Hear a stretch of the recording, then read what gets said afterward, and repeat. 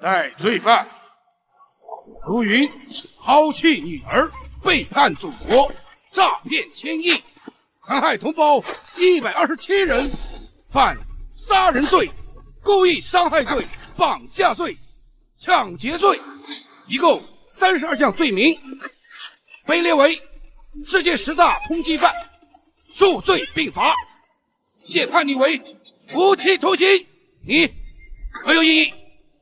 我没有异议。法官大人，我有异议。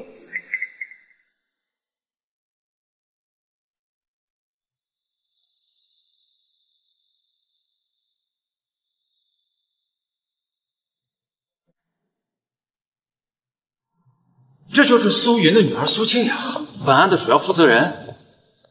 清雅，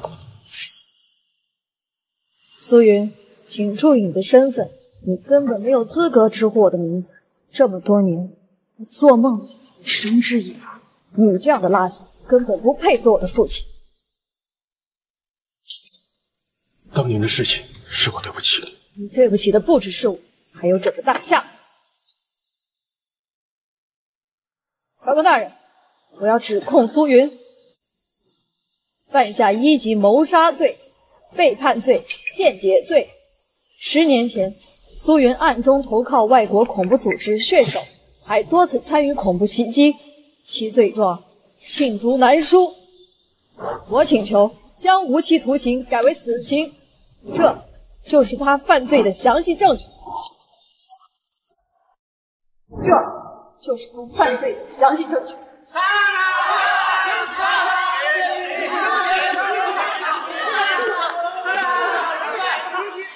各位。这位就是我们安保局的苏清雅，年少有为，大义灭亲，孤身一人前往南阳捉拿罪犯苏云，现已升为督察，而且我已经决定了，正式追求苏督察。可真是好事一桩啊！苏记，全体起立，公诉人罪状属实，现将苏云列为一级罪犯，证据确凿，即刻执行死刑。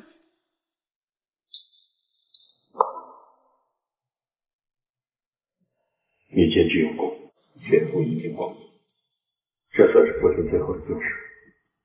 原谅我没有办法给你一个真相，有些事情我注定要背在身上。这封信，麻烦交给我女儿，这是我对她最后的帮助。你真的要拒绝受训？我时日不多了，死前我想为清雅铺一条路。如果我的身份暴露了，清雅这些年的努力就白费。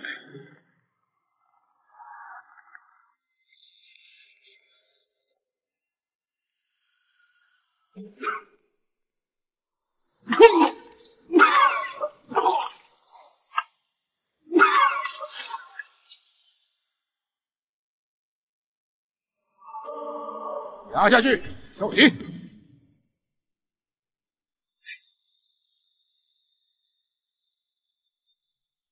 等等。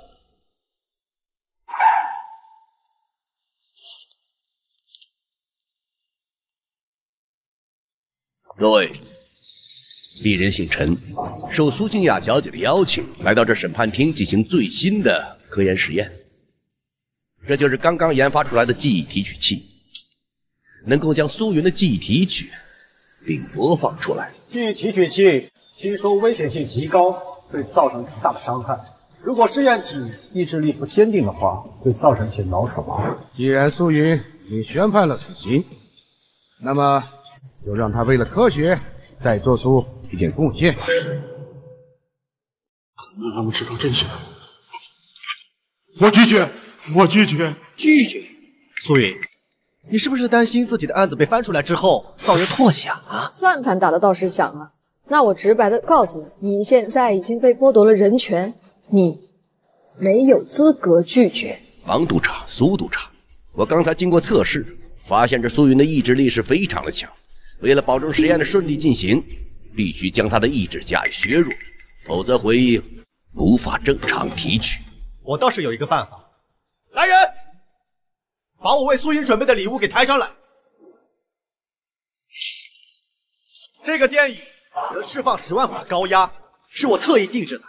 我相信苏云他一定很喜欢。王督察，苏督察，苏云已经是戴罪之身，又何必强加重刑？你们这样是不是太过分了？一点都不过分。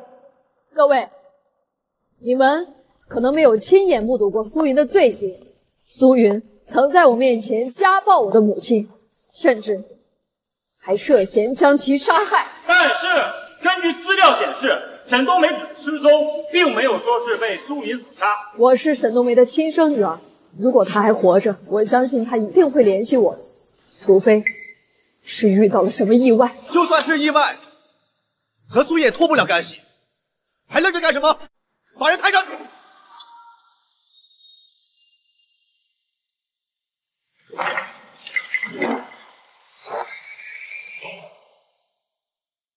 当初你对我母亲施虐的时候，是不是没有想过会有这一天？秦阳，父亲求你一次，送我去新城。求我？你苏云居然会求人，我以为你是个硬骨头，没想到你是一个窝囊废。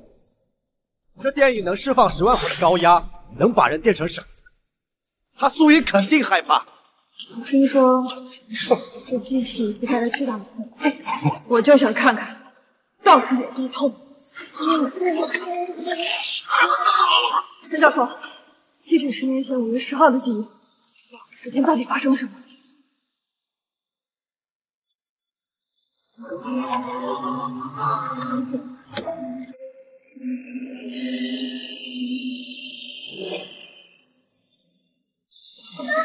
God.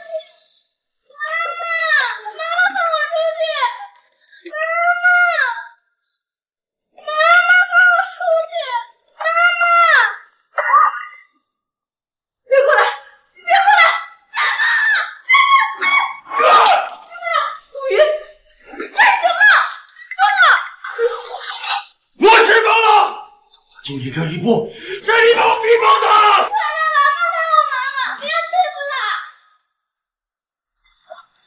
女儿，和妈妈一起离开你爸爸。妈妈带你去找别的叔叔。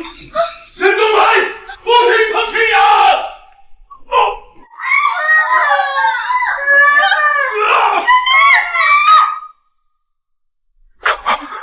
竟然把我气死了！苏云，死不足惜。大家都看到了吧？这就是苏云丑恶的嘴脸，一个家暴妻子的窝囊废。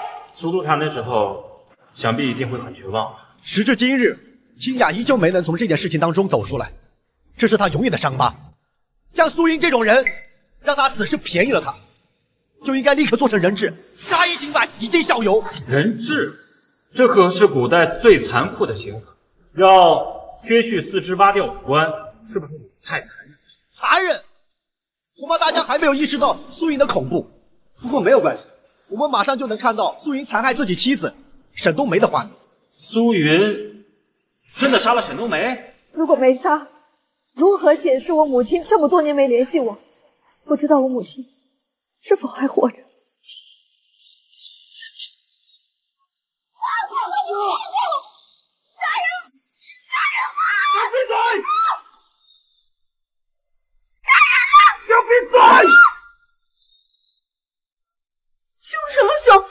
我又没做什么伤天害理的事儿。我都说了，那合同我不是故意签的。个大男人的有点度量，小声。够了！听你解释，滚！滚得越远越好！以后要是让我知道你接触青阳，我不会放过你！行，苏云，你够重，我走。苏云真的没有杀沈冬梅。王督察、苏督察，看来你们的判断出了问题。那又如何？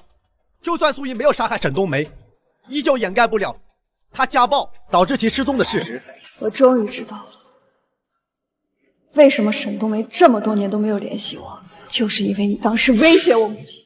你这个罪犯，你为什么要阻止我们母女相见？我只是想让你无忧无虑的活下去。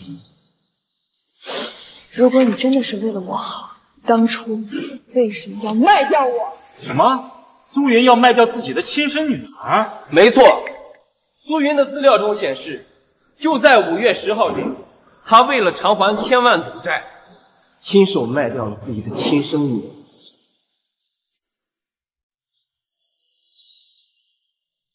放开我！放开我！你个畜生！放开我！林哥，这是二十万，咽下。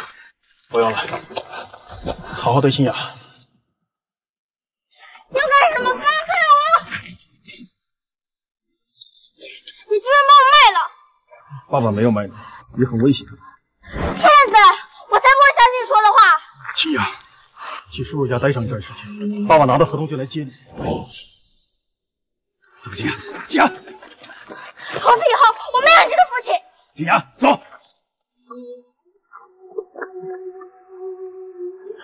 求求你，不要再看下去。实验体的精神产生了强烈的波动，需要暂停十分钟，否则将会烧伤实验体的脑细胞。新雅，原谅父亲，我不能让你看到真相，我必须保护你。我的记忆资料里都有。去寻找了，亲人。抗拒回忆，苏督察，这就是你的父亲。没错，苏云就是害怕真相暴露，遭受刑罚。一个自私自利、残忍血腥、畜生不如的人，活该受刑。陈教授，能不能强制启动机器？可以是可以，但会对实验体的大脑造成损伤，带来巨大的痛。我建议强制执行。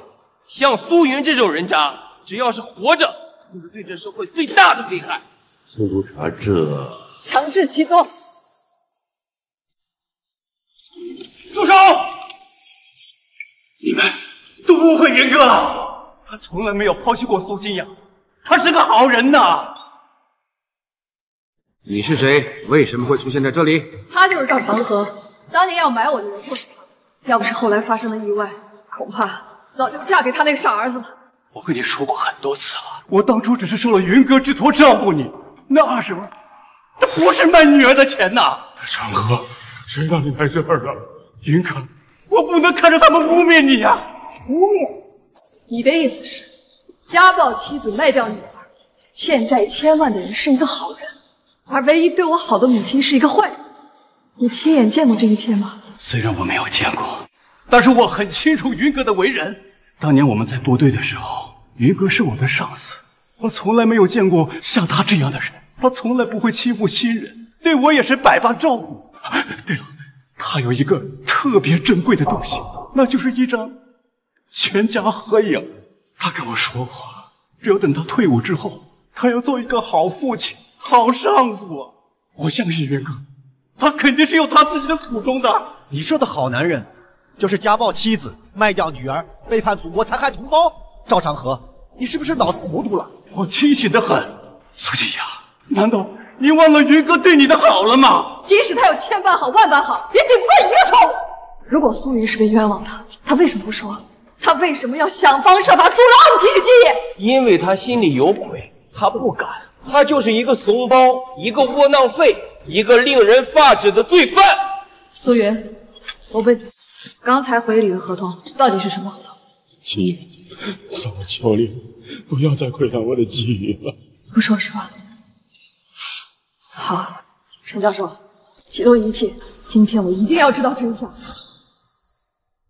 今天我一定要知道真相。不要啊！苏静雅，你父亲年纪这么大，身体这么虚弱，如果强制启动机器的话，你难道想看他变成傻子吗？他这样的人变成傻子，也是对他的仁慈。苏督察还没看清楚吗？两个人在合起伙来演戏，想要博取你的同情啊！陈教授说的没错，像他们这种双手沾满罪恶的人，一句话都不能信。立刻启动一切！不要了，不要！好了，可以开始。云哥，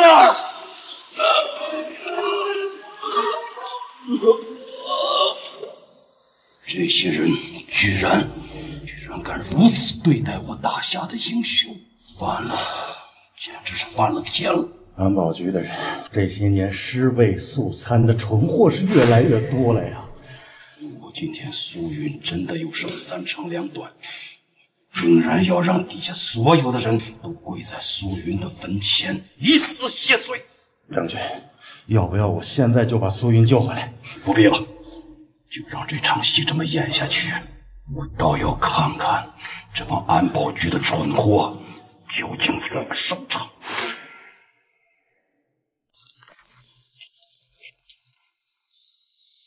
向北河，苏云欠我那一千万，什么时候还？我全部身家都给你了，再宽限几天，凑齐了一定给你。什么废话，给我打！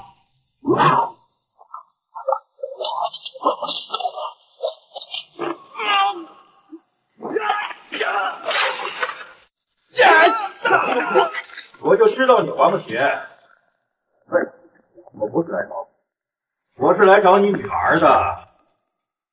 你给我买卖合同。你女儿马上就要得掉器官，卖到公海上申请。这苏云疯了，畜生！苏云要把金雅卖到公海当血奴，畜生，不为人父。来人，把苏云扒皮抽骨，做成人质。就让我最后一次出现。苏队长，只能为他，我母亲怎么了？快看记忆。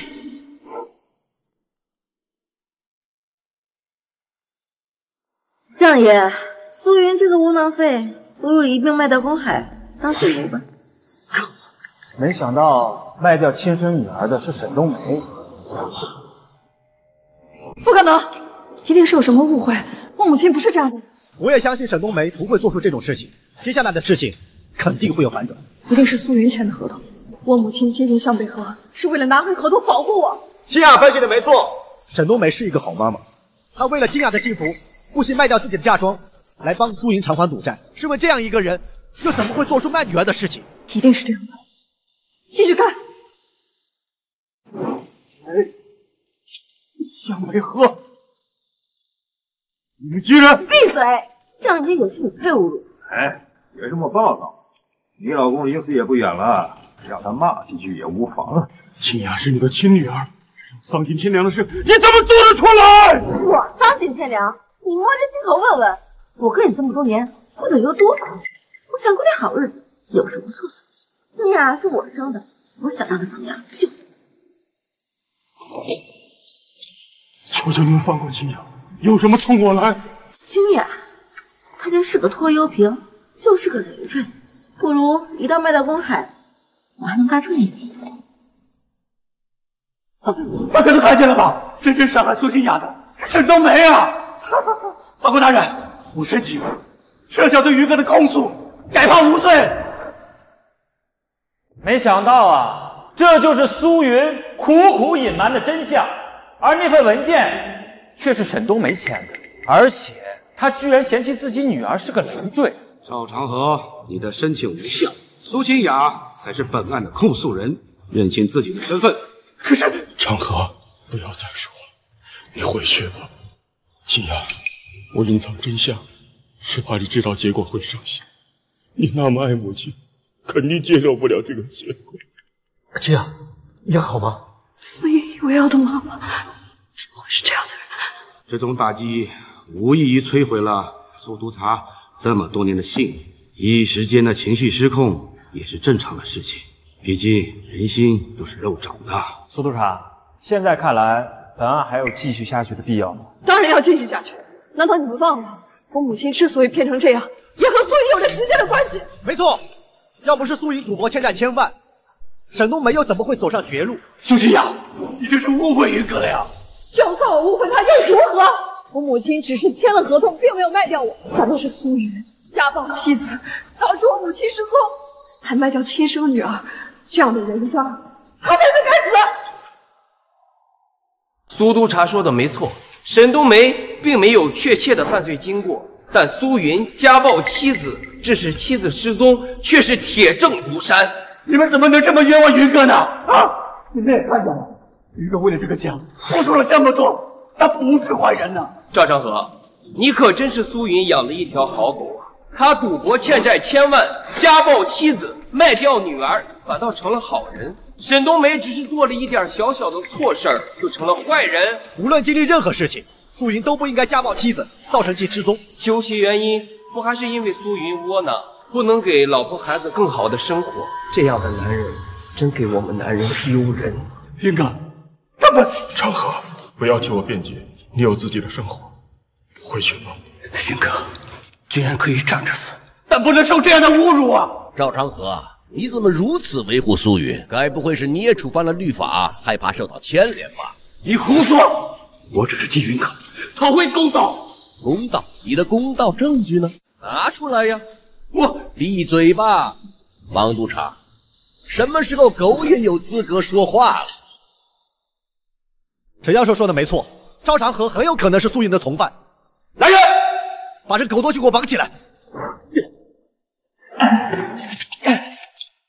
王源，你除了会颠倒是非、冤枉好人，你还有什么本事？你放开张哥，有什么冲我来？他是无辜的。替你说话的人就没有一个是无辜的。等记忆播放完毕，你和苏云一同判处死刑。这么一闹，我倒更有兴趣看接下来的内容了。而且，我怀疑当年苏云赶走沈冬梅，就是为了独占卖掉女儿的二十万钱。没错，否则苏云为什么要阻止我母亲接触我？肯定是担心事情败露，我母亲报警。齐呀，你是傻了吗？你母亲要卖掉，他怎么会联系你呢？当时的情况下，我母亲明显是被江北河骗了才签的合同。我提议，接下来的这段回忆先播放苏云欠赌债内容，我让大家看看他这副嘴脸。我没意见。哎，怎么搜索不到啊？苏云，你在抗拒回忆？我的记忆没有什么值得观看的。你有什么资格抗拒？宋督察，启动电椅。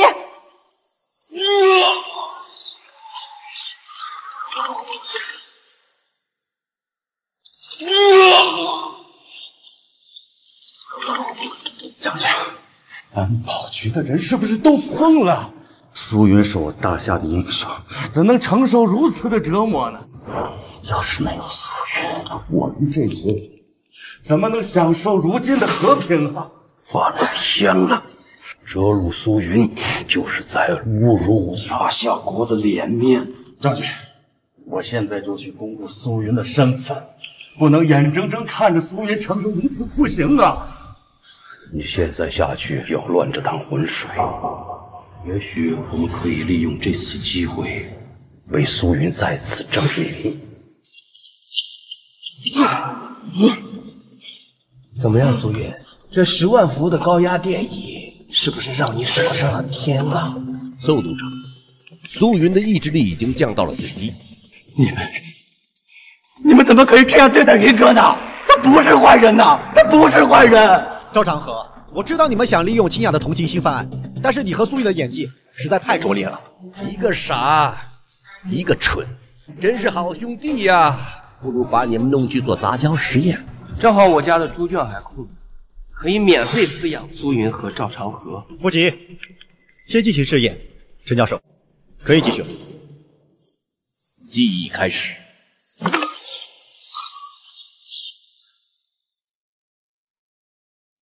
苏云，苏云！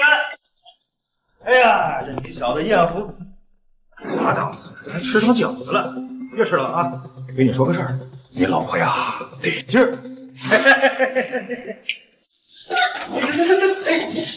小浪皮子，你劲儿不是挺大的吗？过两天再给我打电话。嗯。别当孩子面说这些，出去说。他妈以为你谁呀？你配跟我这么说话？你老婆陪了我三晚上，我就免你二十万的利息，剩下的钱一个月给我还清了。一个月？不是说好了三个月吗？他妈欠钱还有理呢！今天不给点颜色瞧瞧，就不知道我像一个手段。给我走！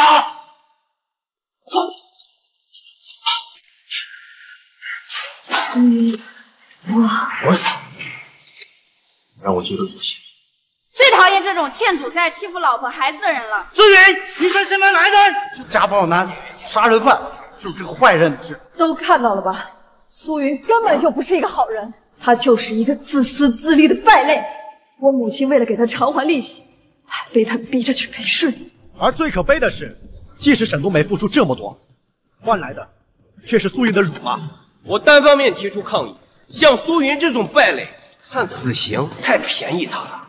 王督察，我提议继续将苏云制成人质。帮蠢货，你居然还不够，还想把我大夏的英雄制成人质？将军，我大夏何曾亏待过一位英雄？苏云他不该受到这样的折磨。据资料显示，欠下赌债的那个人，他根本就不是苏云呐！苏云曾经是我手下最精锐的兵，他的性格我不必了解。你给我瞪大眼睛盯好了！如果他们今天真的敢对苏云下手，有一个算一个，全部给我打入死牢！将军，我有些不解，难道英雄注定都是无名的吗？苏云为我大夏牺牲了这么多，可如今他……谁说英雄无名啊？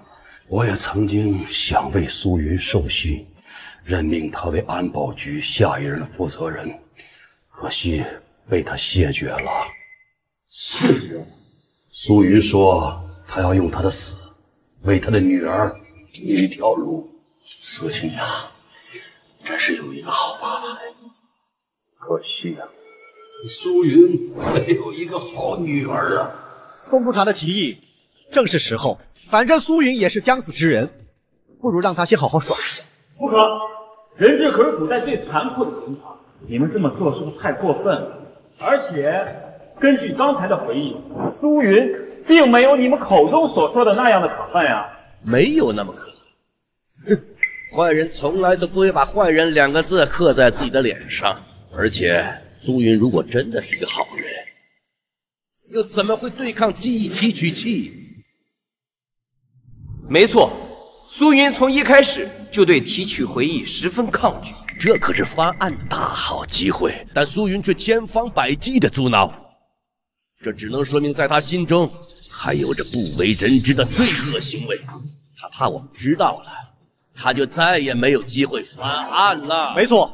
所以我才提议将苏云做成人质，如此一来便能杀一儆百，一尽效尤。你们，你们这些刽子手！尼克，你那是在保护清雅，在学他探究回忆啊！保护我，赵长河，你真可笑！如果他是在保护我，他为什么把我卖给你？我跟你说，他没有将你卖给我。如果他没有卖我，你为什么要给他二十万？那二十万。那二十万是云哥托我卖了他的功勋章换来的钱呐！你真是满口谎言！功勋奖章是大夏最优秀的士兵才配获得，他一个窝囊废也配？苏云，你真让我恶心！如果你承认当年卖了我，我还敬佩你是个男人，但你却想利用亲情让我撤诉，不可能！我从来没有想过要翻案，我只想平静的死去。秦阳。如果你还认我这个父亲，就了却我的心愿。休想！你不会真的以为你刚才回忆里表现出那么一丁点的父爱能让我感动吧？我告诉你，我母亲早就为我准备了一份成长基金，我能有今天，全靠我母亲的抚养费。本来我以为只有苏云是个好男人，但母爱确实伟大。沈冬梅虽然被迫签了合约，但我想她的心里面。可能是一直爱着她的女儿啊，但就是这样的一位好母亲，却碰上了苏云这样的人渣，一个能将自己老婆送给别人当玩物的窝囊废。苏云就是一个自私自利的人，他心中想的只有自己，根本不可能为了女儿去牺牲。法官大人，陪审团申请将素云制成人质。不要，不要！你们不能这么对待云哥呀！赵长河，这里不是你狗叫的地方。把他给我拖下去，赏他几鞭子！不要这样对待云哥！放开我！放开我！不要！长河，长河，长河！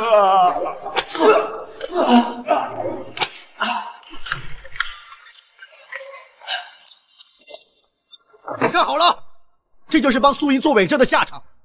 还愣着干嘛？去叫刽子手来给苏云行刑！等一下。人质是大夏最严重的酷刑，不能轻易使用，除非这个苏云做了更过分的事情。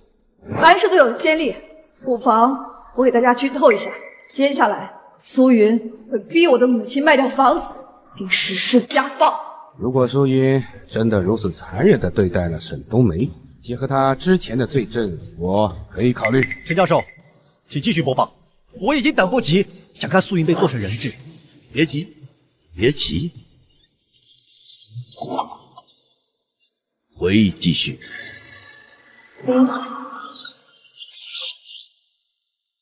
走。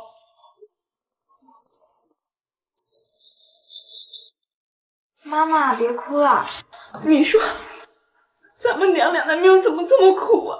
摊上你父亲这么一个窝囊废。当年，当年我真是瞎了眼，窝囊废，没出息，就知道欺负咱们娘俩。你还有什么本事？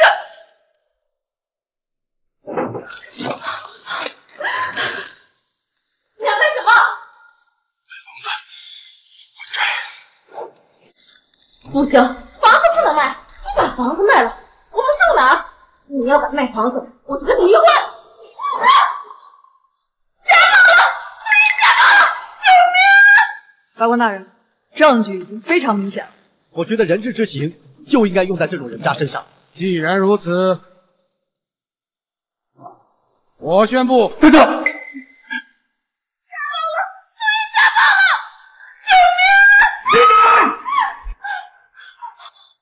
要是不买房子，这债你还得起吗？前期我赌债的不是苏云呐，是沈冬梅。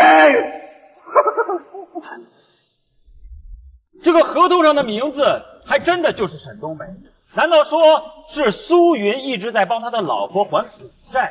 那他就真的是一个好男人。没错，云哥他一直是那样默默付出的人。清雅，你真的误解你父亲了呀！我误解了苏云，不可能！我想起来了，是苏云逼我母亲签下合同的。我也觉得是这样。苏云做人毫无底线，肯定是他强迫沈冬梅将名字写在欠款合同上面。如此一来，就算他还不起，也可以让沈冬梅背锅。由此看来，沈冬梅勾结向北河的确情有可原。毕竟是苏云将她逼到了这个地步。你们这是胡说八道！明明是沈冬梅，她欠债在先，沈冬梅才是坏人呢。赵长河，你还真是不见棺材不落泪啊！那好，我今天就让你彻底死心。陈教授，播放前一天的回忆，我要让大家都亲眼看到苏云是如何逼我母亲签下那份合同的。等等，苏督察，我有一点疑问，为什么你一直这么笃定说是苏云逼迫你的母亲签下这个赌债的？难道说当时你也在现场？当时我并不在场，不过这些事情都是我母亲亲口告诉我的。可是，假如说沈冬梅她是一个坏人，那她很可能就在骗你。怎么可能？你以为我母亲是苏云吗？我相信我母亲绝对不会骗我。没错，我跟清雅站在一起，我也相信沈冬梅不会欺骗清雅，一切都是苏云的过错。苏云，你到底还是不是个男人？明明是你犯下了这一切罪恶，却不敢站出来承认自己的错，怪不得别人都笑话你是窝囊废。你呀，活该！我对于所有的事情都已经认罪，不要再进行实验了，让我安静的去死。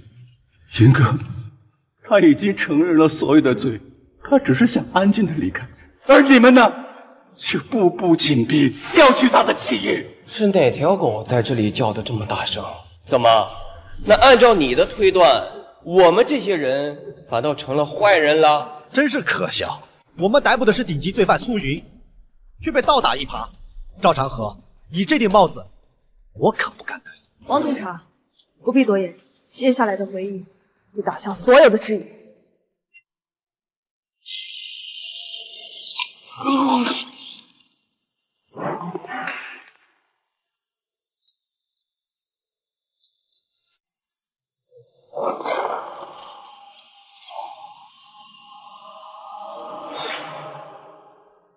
这里一共一百万，你数数看，数额对不对？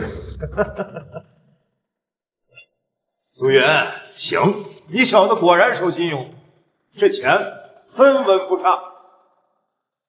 一百万，手下全部积蓄，给你拿去赌场。这下大家可以看到苏云的嘴脸了吧？赵长河，你先别急，等下我会让你和苏云一同受刑。这不可能，云哥不是这样的人。沈冬梅，你老公拿钱来赎你了？没事吧？别急呀、苏云，有件事我得给你说清楚了。你老婆在我这儿欠的不是你，而是一千万。什么？而是一千万。什么？这一千万呢，限你三个月还清了，要不然你老婆就等着坐牢了。记住，欠债还钱，天经地义。赵长河说的没错，这个欠款就是沈冬梅欠下的，而他一直在欺骗你啊，苏督察。怎么可能是这样？沈冬梅不是一个好女人吗？真的欠了千万赌债。姐，姐，你没事吧？我没事。被自己的亲生母亲欺骗，确实不是滋味。但是像苏云这样的罪犯，居然还有如此温柔的一面，实在是难得。我就说你们误会云哥了吧？云哥，你终于能洗清清白了。清白？还什么清白？赵长河，今天苏云站在这个地方，不仅仅是因为一个罪名，别忘了，他还卖掉了自己的亲生女儿。没错，而且就算是沈冬梅欠下了千万，那又如何？苏云卖掉房子替自己的老婆还债，这不是理所应当吗？他一个男人居然连一千万都还不起，真够给男人丢人的。各位别忘了，坐在电影上的这个苏云是国际知名通缉犯，精通各种骗术。你们千万不要让他给骗了。安静！陈教授说的不错，这一切都是骗局。什么？这怎么可能？难道回忆里的画面都是假的吗？回忆当然是真的，我也相信陈教授的仪器不会有问题。我说的骗局是苏云和赵长河。首先，赵长河不请自来，扰乱法庭秩序，只要是对苏云不利的消息，他都不由分说全盘否认，以此要暗示各位苏云是冤枉的。当然，大家信不信不是最重要的，重要的是要在大家的心中埋下一颗怀疑的种子，这样一来就能激发大家的同情心。苏云犯案，不得不说，这场骗局的确做得不错，就连我都差点上当。苏督察分析的没错，看来这一切都是一场骗局。怪不得，怪不得赵长河一直请求法官大人撤案，他果然是苏云养的一条好狗。你在胡说什么呀？我跟你父亲那是战友，我只是想让他尽早离开。赵长河，我来之前已经查了大夏的兵役记录，上面根本没有你和苏云的名字。就在你说苏云卖掉功勋奖章的时候，你就露馅了。我们是特种部队，不登记在外，查不到也正常啊。我作为安保局督察，怎么会有我接触不到的信息？赵长河，你的谎言再也不会有人相信。赵长河所说的这支部队，是不是传说中的潜龙卫啊？没错，乾隆是我大夏国之重器，苏云和赵长河都是我亲自教导出来的。乾隆承担着护国的重任，每一位成员我都要保持神秘，隐藏其身份。别说是他苏清雅了，就算是安保局的负责人站在这里，也没有资格知道每一位乾隆卫的姓名。那赵长河已经把话说到这样了，这苏清雅她还是不信。哎呀，真不明白苏云为什么这么多年来要牺牲自己成全他。可能是出于一个父亲对于女儿的亏欠吧。毕竟国与家实在是难以平衡啊。可是，据我了解，苏云虽然这些年为了我大夏牺牲了自己的家庭，可这些年来他从来都没有亏待过苏清雅呀，甚至还在暗中的指导他成为一个优秀的执法员呢。但苏云从未对苏清雅讲过这些。也许从一开始他就预料到会有今天，他要用自己的牺牲换取女儿的成就。不愧是苏督察，明察秋毫，慧眼如炬。我们啊，差一点上当受骗了。对了，王督察，对于这种骗子，咱们安保局那自然是要对其进行刑罚，然后丢入水牢之中。那不得让赵长河好好的感受一下，省得他在这里妖言惑众，当然还有苏云，说好的制成人质，却让他拖到了现在。宋督察的提议非常好，我可以满足。来人，先将赵长河的四肢打断，然后将苏云做成人质。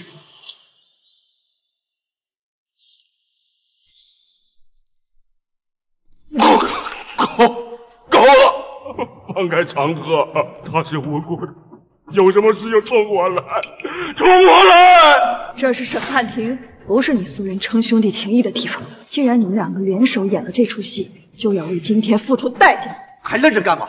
赶紧行刑！云哥，对不住了，是我无能，没能让你安全的离开。长河，你这是何苦？把自己给打了进来。林哥，我们是兄弟。他没有撒谎，他真的没有撒谎。那二十万是我用功勋章换来，跟长河没有关系。苏云，你可真够蠢的，到现在这个局面还在撒谎。等一下，我发现了苏云有一小段隐藏的记忆。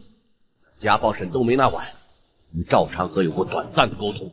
这里面。很有可能隐藏着揭开苏云谎言的真相。陈教授，赶快做好准备。苏云，你的意志力再强，也逃不过我的机器。王督察，我已经准备好了。不放记忆，我要让苏云求生不得，求死不能。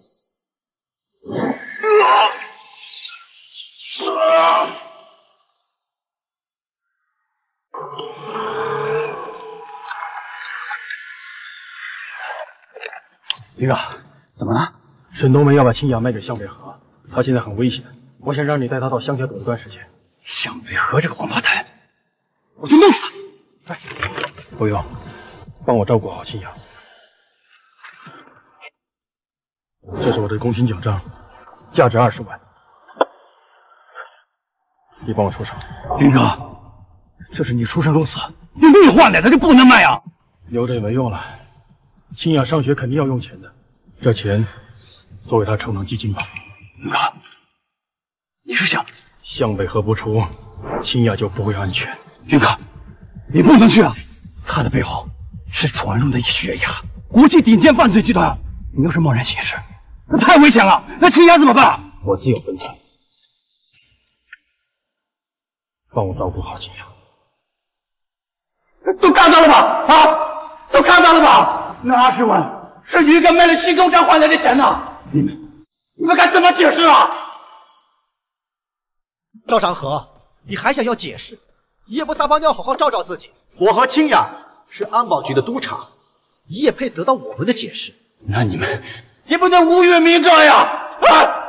他没有卖女儿，也没有欠赌债，更没有对不起苏督察。这一点我支持赵长河。苏督察刚才提到的那个成长基金，就是苏云卖掉功勋章的那个二十万。苏云，我身为一名书记员，我不由好奇地问一下：功勋章往往都会颁给那些功勋卓著的人，你究竟做了什么？十五年前，我还在部队服役的时候，杀死了几个毒贩。没错，那是一个制毒窝点。当时云哥。为了牵制敌人，自己扛着弹药包，他又冲了进去，结果他身中重伤，提前退伍了。抛开你做的那些错事不说，这一点你确实无愧那个奖章。说这些都没用，我的事情你们都知道，就此结案。我觉得确实没有必要再继续看下去。结案？不可能！书记员先生，你不要中了苏云的诡计。根据我们调查，苏云。根本就没有杀死向北河，反而成了向北河身边的一条狗。什么？向北河没有死？可是刚才回忆里面，苏云明明信誓旦旦的要说要找他复仇。大家猜一猜，为什么苏云想要结案？因为他怕接下来的回忆会暴露自己的罪行，从而无法逃脱刑罚。还是宋督察看得明白？没错，这就是他想要结案的目的。他口中的复仇只不过是一句空话。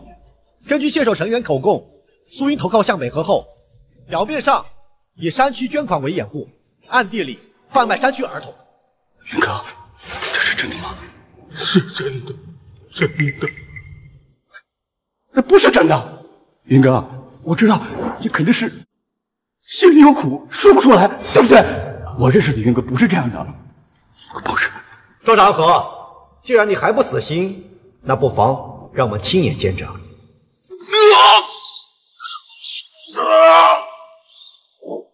苏云，以后跟着相爷我好好干，荣华富贵少不了你的。感谢相爷栽培。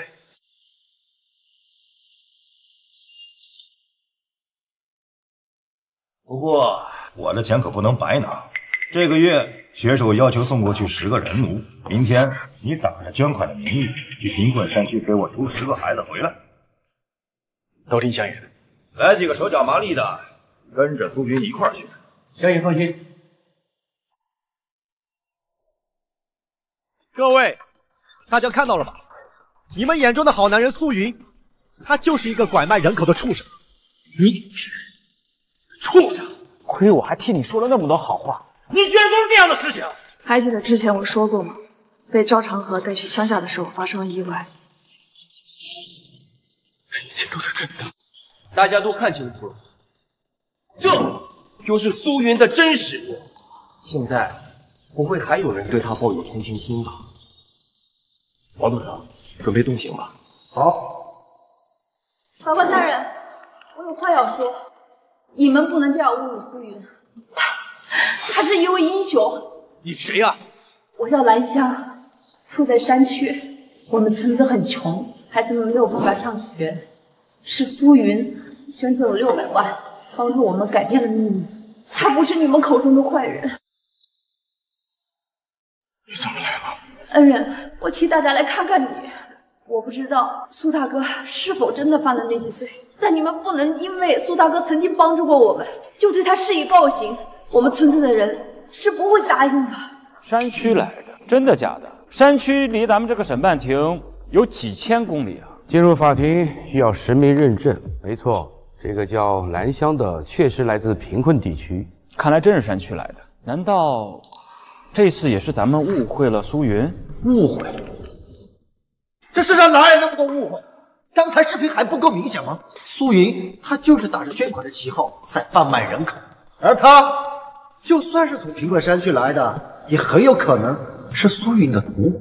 没错，这种概率很大。毕竟已经出现了一个赵长河，再出现一个兰香，也没有什么意外的。不愧是顶级罪犯，嘴里说着认罪伏法，求我们给个痛快，实际上早就已经准备好了如何犯案。我不是你们想象的那样的，我来这儿见苏大哥，就是为了想见他最后一面，为他送行的。这一声声的苏大哥，让人真动听，我差点被你感动。你说不是坏人，还是被冤枉？好，那证据呢？我我没有证据，没有证据。来人！来人住手！他是无辜的，会我抓的。真是个好，三番五次的为身边的人求情，你该不会认为会感动我吧？你现在什么身份，你不知道吗？你在我手中就是个玩物，我随时随地能让你死。跟我谈条件？呸！我要是没记错的话，你叫兰香是吧？刚才抓你确实有些草率了。现在我以安保局高级督察的身份告诉你，你涉嫌扰乱审判庭秩序，且有包庇罪犯的嫌疑。按照规矩，我现在进行对你拘押。来人拿下！够了，我相信兰香是个好人，你们两个放开他。没听清楚苏督察的话吗？松开！你好，兰香，我是本案的负责人苏清雅。刚才播放回忆画面的时候，你应该也看到了，苏云给你们捐款是受向北河的指示。为何你还要帮他说话？可是我看到的苏大哥，他不是这个样子的。他是在骗你，他接近你的真正目的是要偷走你们的孩子，卖去东海当血奴。真的假的？苏大哥帮助我们，就是为了偷走我们的孩子？没错，你仔细想一想，当时是不是有很多孩子走丢？确实有一些无父无母的孤儿走丢，但是当时大家都没有在意，毕竟那些孩子都没有人管。这就对了，苏云就是打着给你们捐款的名义，暗中将那些孩子的器官挖走，这不是真的。苏大哥对我们是真心的，他还帮我们盖学校，他怎么能做出这种事情？那些都是苏云的伪装罢了。我是他的亲生女儿，我了解他，他就是一个人面兽心的败类。湘北河是我亲手抓的，苏云他的的确确利用了你，他给你们捐款、盖学校，全都是骗你们的手段，好让你们忽略掉那些被他抓去公海卖掉器官的孩子。你现在知道了这些事情，还相信苏云吗？你不用担心苏云会在事后报复，他现在已经是个将死之人。我知道真相有时候很残忍，但总要学会接受。我相信苏云。什么？南香，我再给你一次机会，如果你还是选择相信苏云，我也没有办法救你了。我不能昧着良心。苏大哥，他真心帮我们，在我们最苦难的时候，只有苏大哥在真心帮我们，反倒是你们，就凭着一段回忆就对苏大哥定罪，不分青红皂白。王督察，我收回刚才的怜悯。这个女人很有可能是苏云的同党。对于这些人，果然不能施舍任何善心。苏督察刚才一片好心，居然被反咬一口。这一切都是你咎由自取，怨不得任何人。法官大人，我认为兰香是罪犯苏云的同伙，所以我希望你能给他也定罪。没错，他明明知道苏云贩卖人口，却依旧为其脱罪，很明显就是脱罪。现在证据还不足，盲目定罪不符合规矩。这个事情好办，只需要继续播放罪犯苏云的回忆就可以。当年人口买卖的案子是我亲自操办的，所有的细节我都了如指掌。接下来，罪犯苏云就会贩卖人口，走上罪恶之路。陈教授，播放回忆。郑队，如果王源所说无误的话，分明苏云真的参与了人口贩卖吗？你们都太低估苏云了，你们都太低估苏云了。您的意思是，当初苏云带走的那些孤儿，如今都在我的军中效力，是一支专属大夏的神秘部队。苏云果然还是那个苏云呀，永远不会让人失望。当初他带着那些孩子来找我的时候，就连我都没有想到，他居然能在写手的严密监视下完成偷梁换柱。也许只有这样的人，才能成为我大夏的守护者。是啊，天妒英才，就连这样的英雄也会饱受癌症的折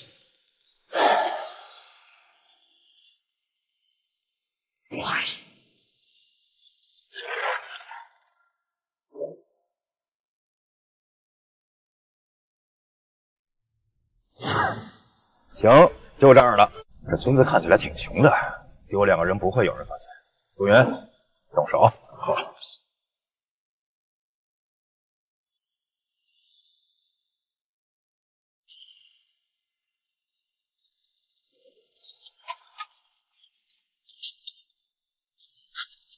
苏大哥，人我都带来了，你数一下对不对？不错，这是二十万，你查一下数目对不对？剩下的钱我分批带过来给你。啊，我相信你。孩子们，叔叔要带你去吃好吃的，跟叔叔走。走啊，跟我上车。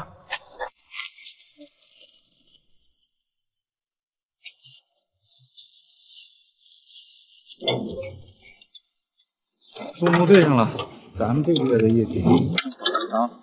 走，回去找相爷。我还以为这个人是个好人，没想到王督察没有猜错，兰香果然是苏云的同伙，刚才竟然还可怜你。法官大人，这下不用再继续看下去了。兰香伙同罪犯苏云贩卖人口的罪名已经坐实。如果回忆属实，兰香确实为苏云同伙，当判处死刑。不。这些孩子都是送去福利院的，并没有卖掉，你们一定是误会了。人证物证都在，兰香，你还想狡辩？记住，这就是你私通苏云的下场，把他给我抓起来！把他给我抓起来！住手！苏渊，你还真是个扫把星，每一个接近你的人都没有好下场，无论是我母亲，还是赵长河。亦或者兰香，这样，我是一个将死之人，没必要骗你。他真的是无辜的，你们就放了他。无辜？你说无辜就无辜？刚才的回忆大家都看到了，如果他是无辜的话，怎么会收那钱？那钱是村里给学校用的。所以，你的嘴真硬，事到如今你还在演，你该不会认为我们这些观众都很蠢？根据我们的调查，你可是将好几亿存款转移到了国外，这些钱不会都是用来盖学校的吧？我不知道。你自己的钱不知道去向，看来我得好好让你爽一爽。等等，我有事情要问苏云。苏云，那些孤儿被你卖去了哪里？那些孩子如今在执行秘密任务，他们当然被卖去了公海。不，根据我们的调查，那些孩子并没有出现在公海的买卖名单里。你到底把他们卖去了哪儿？没想到名单你们也找到了。我们手里面的东西比你想的还要多。说，那些孩子到底在哪？你为什么要保持沉默？我在问你话。回答我！秦雅，看在我是你父亲的份上，别追问他们的小，他们过得很好。过得很好？你这话什么意思啊？王督察，对待这样的人，我觉得惦记对他太仁慈了。那正好，我们这里还有一套刑法。来人！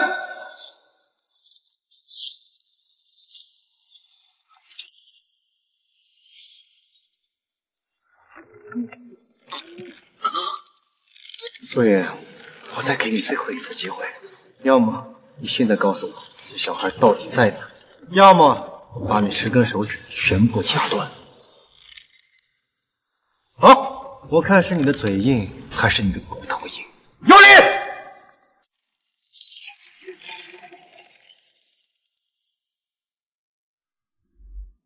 有理！王督察，这会不会太残忍了？你和罪犯讲人性？怎么，舒居言先生，难道你想成为犯罪分子的一员？王督察，请注意你的用词。苏云如果真的犯了罪，那他就死不足惜。没错，对待苏云这样的罪犯，就不能抱有任何的同情。想想他犯下的罪行和那些被他害死的人，要不是法官大人不同意，我都恨不得立马亲手把他做成人质。王督察，你是不是忘了这里还有一位苏云的同伙呢？我认为应该一并受罚。啊，对，我差点忘了这个女人。来人，让苏云的同伙也感受感受我们安保局的电影。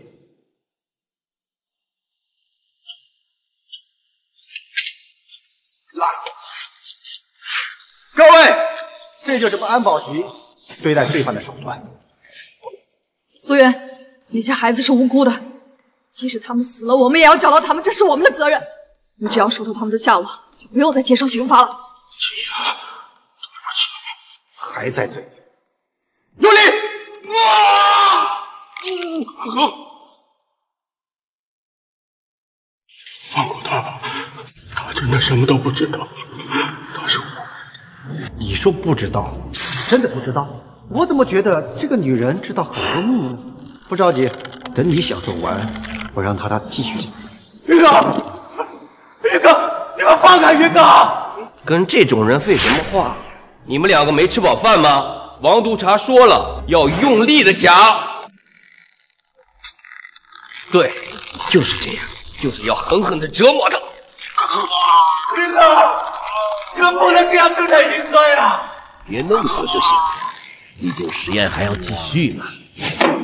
放肆，简直是放肆！连我都没有资格伤害他，他们居然要断他的食指，简直是胆大包天，死不足惜！将军，现在怎么办？总不能眼睁睁看着苏云的食指被折断吧？刘秘书，我命令你现在就拿着委任书下去，向他们公开苏云的身份。我要让他们知道苏云的真正身份，我要让他们知道他们惹的到底是谁。明白，我这就下去公布委任书，还苏云一个清白，还苏云一场清白。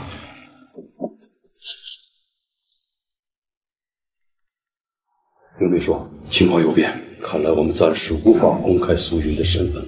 将军，到底是什么事能比挽回我大夏的颜面还重要啊？刚刚接到内线的消息，就在下面的法庭之中，隐藏着一个血手的余孽，代号血手的余孽，这不可能！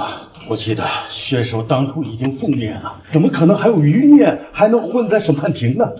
血手是覆灭了，但并不代表血手的人都死绝了。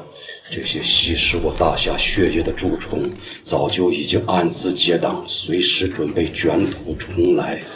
而隐藏在这些人当中的这位间谍，就是这些余孽的首脑啊！真没想到啊，这些人如此疯狂，居然有血手的余孽能混到审判庭来。将军，现在怎么办？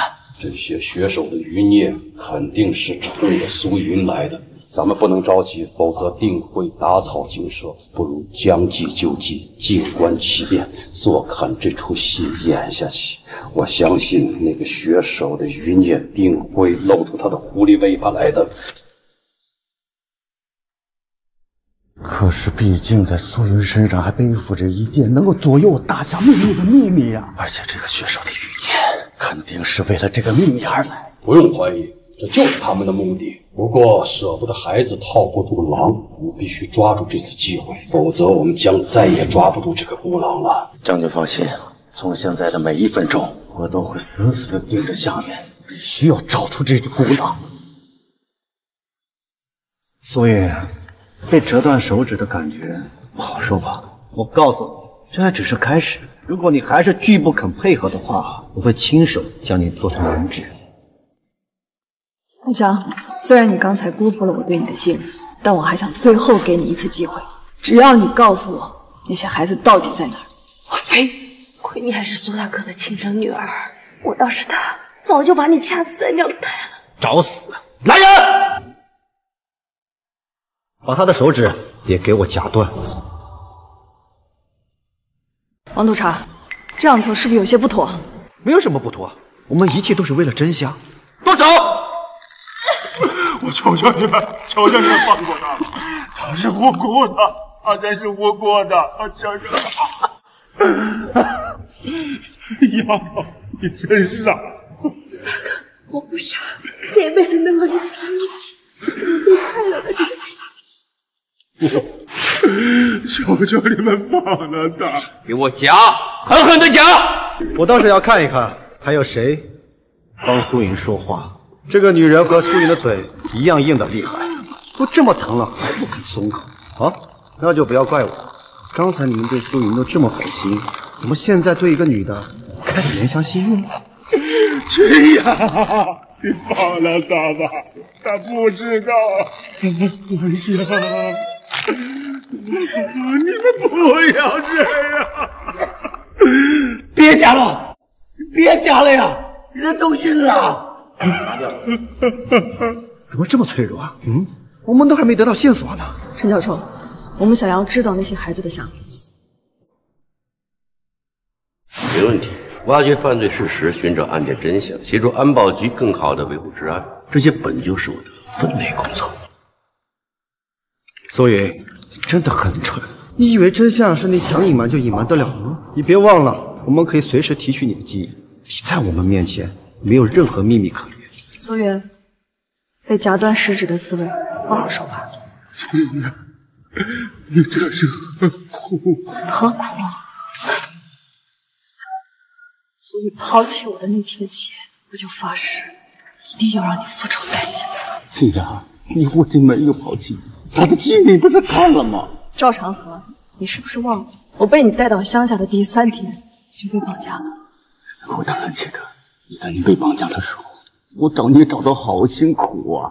直到我看到你成了执法员，那是因为我命好被人救了，而且我怀疑被绑架的事就是苏云一手策划的。什么？还有这种事情？没想到这个苏云加入血手组织之后，心肠变得这么歹毒。没错，你看他都不敢正面回答。不过我身为督察，自然不会诬陷任何人。当务之急是要先找到那些孩子的下落。陈教授。可以开始。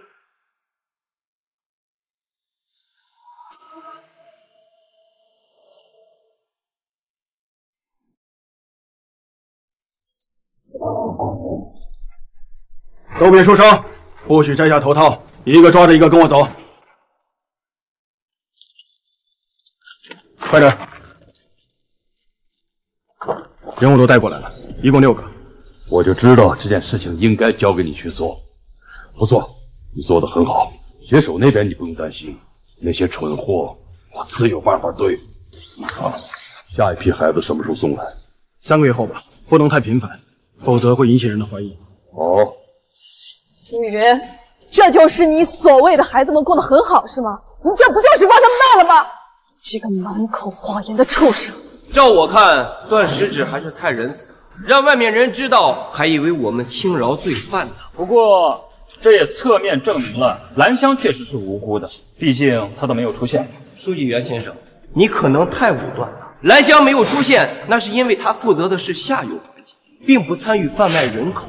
陈教授，这个人为什么看不见脸呢？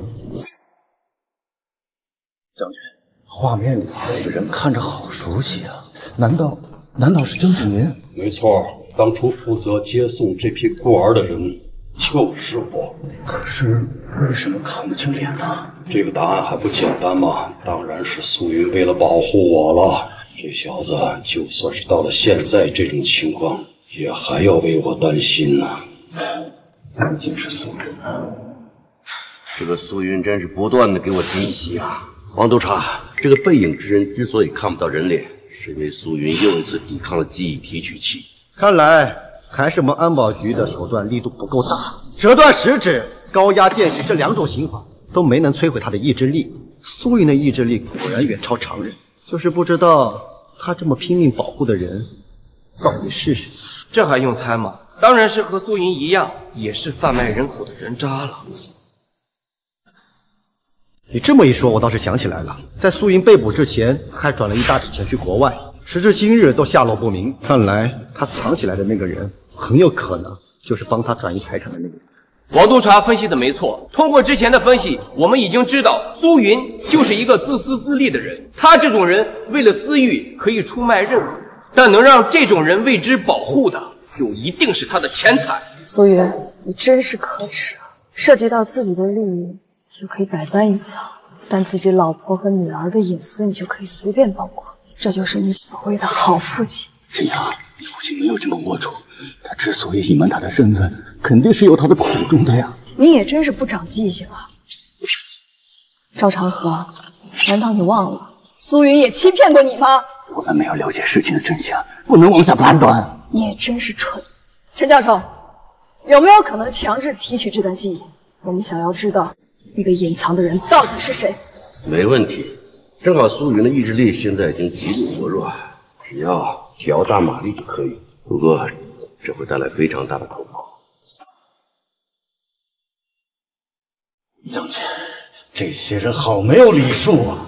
不仅用言语侮辱你，还想要将你曝光出来。我严重怀疑，在这几个人当中，肯定有一个间谍。赵长河刚才那句话说得很，不知全貌，不予置评。虽然我们有着相同的怀疑，但我们绝不能妄下定论。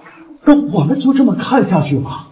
如果这支神秘的部队泄露出去，那也会影响我们的计划的呀！不要对他们如此没有信心。就算是泄露，那又如何？大夏国什么时候惧怕过这些宵小之辈？没错，这就是我们的国家。只要有人胆敢挑战那支神秘的部队，必将付出惨重。让我们看一看，到底是哪个不要命的，敢在我们安保局眼皮底下贩卖人口？准备好记录，我要第一时间掌握全部资料，将此人缉拿归案。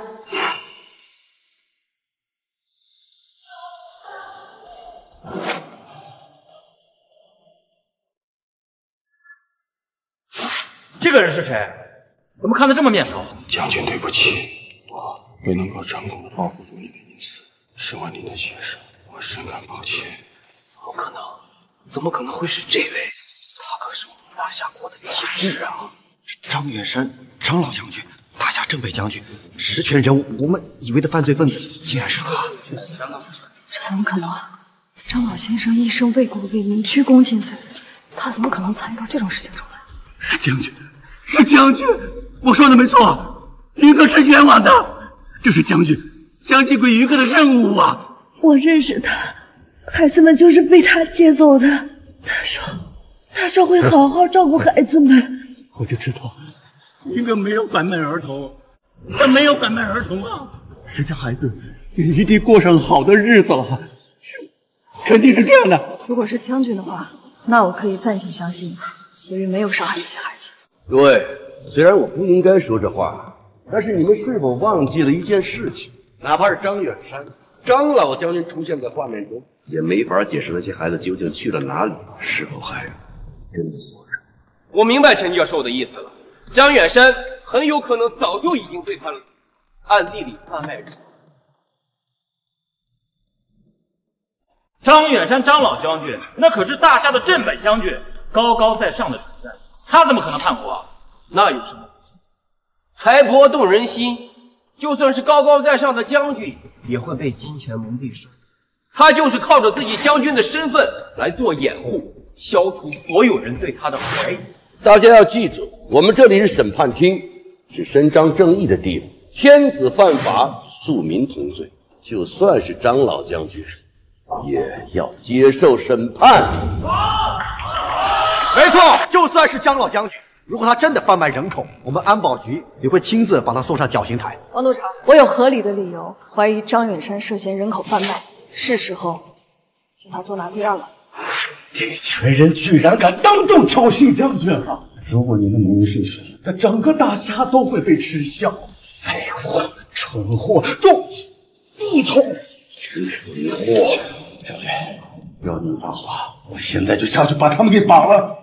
事情有轻重缓急，吩咐下去，将周遭的街区封锁起来。等抓住了那个间谍，我定要让这帮蠢货付出惨重的代价。我这就安排下去，就调用你张田和苏雨联手打造的这支部队，务必要让他付出代价。将军是安保局的王员，这两个人是疯了吧？还想要当众的责问这个大夏的颜面，让这些人丢了个干净。他们还没有这个资格，不用回复，就这么晾着他们。而且我怀疑，目前的。局面是隐藏的。那位间谍引导的。结果。我倒要看看还有什么手段。张明志，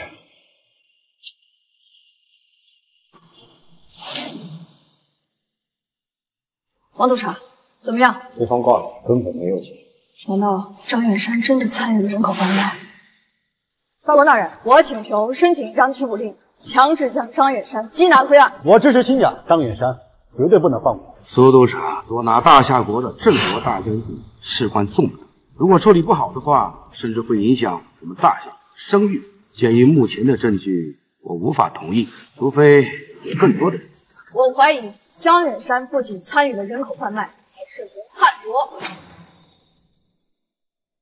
什么？这怎么可能？张老将军为我大夏镇守国门三十年，他叛国？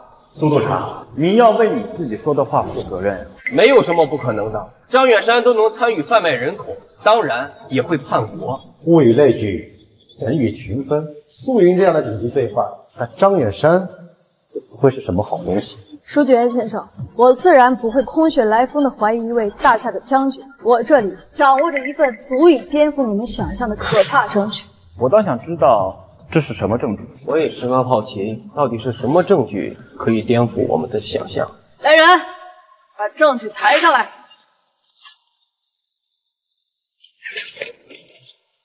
这是什么？一个保险箱也能当做证据？当然不是，不过真正的证据就藏在这个保险箱里。只不过现在我们还无法打开它。苏督察，你不是在耍我们吧？当然不，保险箱是从苏云的藏身之处搜来的。根据我们调查，里面藏有一份能够左右大夏命运的秘密文件。左右大夏的文件到底是什么？苏督察，能够左右大夏命运的文件，这种东西怎么可能存在呀？陈教授，你是一个学者，你不知道这件事情可证据呢。这类文件的确存在，这些文件是 S 级的文件，权限极高，在大夏只有几个将军才有资格接触，而其中一个就是我们敬爱的张雨山张将军。我明白了，以苏云的身份，根本就没有资格接触到这份文件，是张远山暗中将这份文件交给了苏云。陈教授分析的非常合理，之前我也好奇，苏云怎么会拥有如此重要的文件？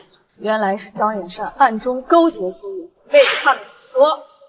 法官大人，身体确凿，现在可以将寄补令批准给我们了吗？还不行。目前来看，这一切只是你们的推测，眼见为实，耳听为虚。我需要看到真正的证据。没问题，那就有劳陈教授了。正好，我刚刚在苏云的记忆里找到了和张远山有关的片段。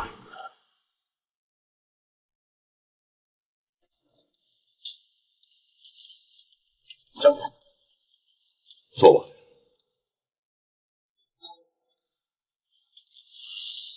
这就是那份能够左右大夏命运的 S 级文件。苏云，不要忘了我们之间的交易。将军放心，我绝对不会辜负将军的信任。你是我最优秀的士兵，我也相信你不会辜负我的信任。保证完成任务。这段回忆足以证明，那份能够左右大夏命运的 S 级文件，正是张远山提供给苏云的。看来你们眼中德高望重的张老将军，只不过是一个人渣，不仅贩卖人口，还背叛了法官大人，事到如今，必须下令抓捕张远山。大夏从来没有逮捕过郑国将军的先例，现在不就有了吗？但是我觉得不能盲目逮捕张远山，必须要能咬死他，否则就算把他带来审判厅，他也有办法脱罪。陈教授说的话确实很有道理。张远山身为将军，肯定是一条老狐狸，而这样的人如果不能一次锤死，等他反应过来，我们将再也无法抓住他的狐狸尾巴。我也同意陈教授的想法，抓捕郑国将军确实是事关重大。如果我们没有掌握好完全的证据，那么在场的各位让他给脱罪了，我们在场的所有人会背负罪责。此事确实是我武断了，张远山岂能轻易就范？到底是什么样的证据才能让张远山认罪伏法？我感觉仅凭这些回忆还远远不够。大家不用灰心丧气，咬死张远山的证据就摆在眼前。只要我们打开这个保险箱，拿出你们的 SD 文件，不仅可以让张远山认罪伏法，也有足够的理由将苏云做成人质。我们试过很多办法，根本就打不开保险箱。是你的方法不对。打开这个保险箱最关键的一步是苏云。说吧，保险箱密码到底是多少？说吧，保险箱密码到底是多少？保险箱里边没有你要的东西。好，我看是你嘴硬还是你的骨头。来人，把他给我抬上去。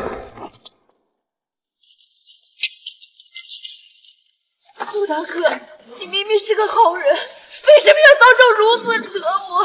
原以为审判厅是个主持正义的地方，没想到是个颠倒是非黑白的地方。你们两只忠犬还真是听话呀！事到如今还在为苏云说话，证据都已经如此确凿了，明眼人都能看得出来是苏云犯下了滔天大罪。哦，我忘了，你们两个人是瞎子。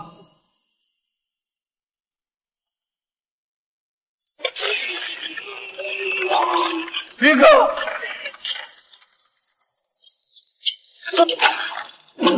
最后我问你，保险箱密码是多少？你要的东西我在保险箱里。你少自欺欺人！要是文件不在保险箱内，你又为什么不敢把密码告诉我？说不出来了吧？依我看，你是害怕心虚。你越是这样，越是证明这份文件就在保险箱。来人，把素云的四肢挑断！将军，看来我们还是低估了安保局的人呐！没有想到，居然连这份 S 级的文件他们都能挖出来。毕竟是受过专业训练的，蠢是蠢了点，但专业技能还是有的。将军，苏云不会承受不了折磨。把保险箱的密码说出来吧。如果这份文件真的在保险箱里，后果可不堪设想啊！这个不用担心。我当初之所以选择把文件交给苏云，就是因为他有超乎常人的意志力，就算受到再严酷的刑罚，他也不会泄露组织的秘密。他是最合适的人选。可是，即便苏云他没有说出来，这些人他还有别的渠道能找到这份密码，危险依旧没有解除啊！来，不必多虑，我们要相信苏云，相信我们的护国英雄，是绝对不会泄密的。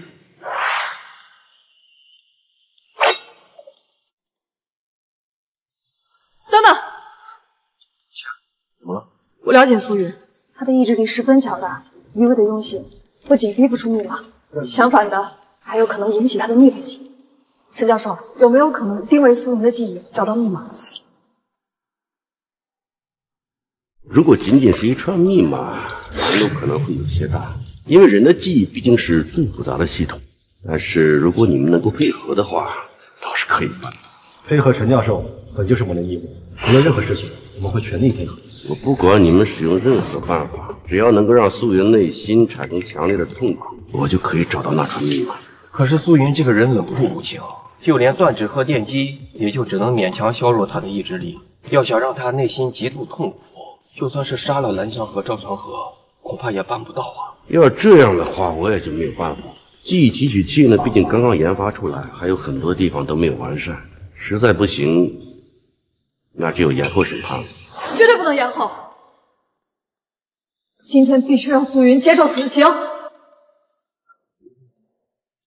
我倒要看看被亲生女儿挑断手脚，你到底会不会痛？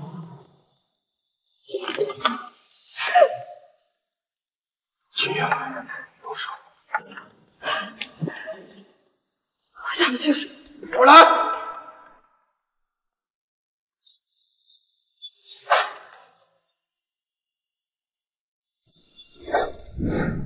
秦雅，为了一个人渣，你值得吗？苏督察，你这是何苦啊？毕竟她是我的亲生父亲。毕竟是亲生女儿啊，就算再怎么恨自己的父亲，也不忍心用刀去对付他。今天是我耽误了大家的审判，我愿意承担全部的责任。没有人会向你问责，你只是做了一个女儿该做的事情。苏督察，你刚才的节目起作用了，苏雨的内心产生了极大的痛苦。怎么会因为我痛苦？人会说谎，一句不会骗人。终于可以把苏云的内心重现了，太好了，终于可以拿到证据了。好了，诸位，我得到打开保险箱的密码了，放到大屏幕上。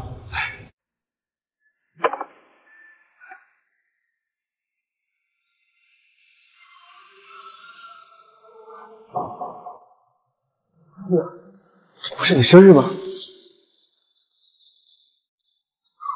怎么可能？怎么可能我们找了那么久，居然是我的生日！居然用自己女儿的生日来保存最重要的东西，难道你们都误会了？大家千万不要被苏云所迷惑，这些都是苏云的手段，没听说过吗？最危险的地方就是最安全的地方。王督察，你的意思是？这还不够明显吗？苏云他就是利用了我们的心理误区，他欺骗了我们。清雅，他根本不爱你，他又一次的利用了你。利用我？清雅，你别忘了，他涉嫌绑架你。这个苏云实在是太狡猾了，苏督察差一点又上他的当。所以，我们必须让这些罪犯付出代价。现在，我们就打开保险箱。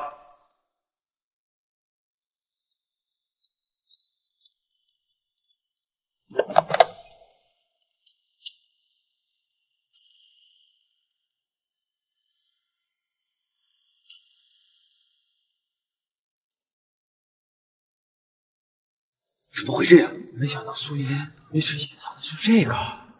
这里面没有文件。我果然没有看错他，这个苏云确实有两把刷子，就连我都被他骗过去。吓死我了！我还以为事关我大夏命运的文件会暴露出来。还好还好，虚惊一场。现在看来，这场戏确实是越来越热闹喽。清雅，这怎么了？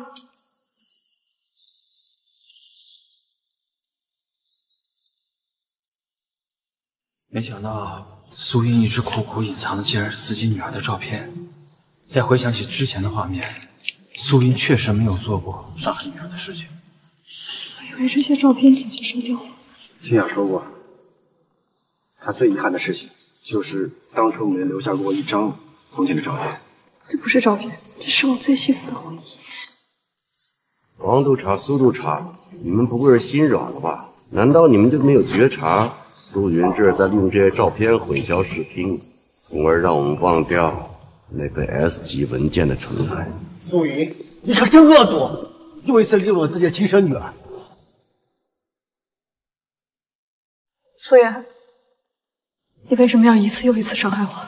秦阳，你误会了，我没有利用你，那些照片我一直等着。还想狡辩？你说没有利用清雅，好，那为什么不告诉我们保险箱里面有什么，让我们发富的财？王远，你不要为难云哥了，他已经说了很多次了，保险箱里的东西不是你们想要的，你们怎么就不信呢？赵长河，你不要颠倒黑白。如果苏颖不是为了混淆视听、转移我们的注意力，她为什么要隐藏保险箱的密码？因为那些照片是我最宝贵的东西，我不想让任何人知道。你胡说！你就是在利用我，你在利用我对你的亲情，我真是瞎了眼。秦阳，你闭嘴！不会再相信你了。那份 S 级的文件是张远山认罪伏法的重要证据，保险箱里没有。那苏颖，我问你，文件到底在哪？那份文件我藏在很隐蔽的地方，不用你们操心。不用我们操心，还敢顶嘴？来人，打断他的双腿！王远，住手！云哥不告诉你们是为你们好啊！王远，你身为警察，你应该知道 S 级文件多么的重要，万一暴露了，你们将背负罪责的呀！简直可笑！我身为安保局高级督察，我会不知道这些事情？还轮得着你一个阶下囚来恐吓？我们找文件是为了大夏铲除毒瘤，至于我背负什么罪，还轮不着你来管。你有没有想过，万一张老将军他没有犯罪呢？万一刚才播放的画面那只是其中的一段呢？如果真相不是这样呢？你是在质疑我的判断，又或者你觉得审判庭的人都很傻是吗？还是你觉得你赵长河可以凌驾在大厦的法律之上，随意的决定一个人是否犯罪，是吗？赵长河，你是不想活了吧？你不要给我扣帽子！我告诉你，我可是大夏的军人，忠诚是刻在我骨子里的。忠诚？你的忠诚是颠倒黑白，你的忠诚是袒护一个叛国贼，你的忠诚太廉价了。我我我什么？就你这样，你敢在审判庭上撒野？把赵长河抓下去，打断手脚！够了，不要再为我伤害任何人。那你赶紧说，文件在哪儿？我可以告诉你。但请先送我去刑场，在我死前，我会说出文件在哪。你还想骗我？我没有骗你。你打什么算盘？我不知道吗？这一次我不会让你得逞。行刑！你们想干什么？放开我！放开我！长河，长河，你们放开他！不要再打他了，长河，不要再打他了。住口！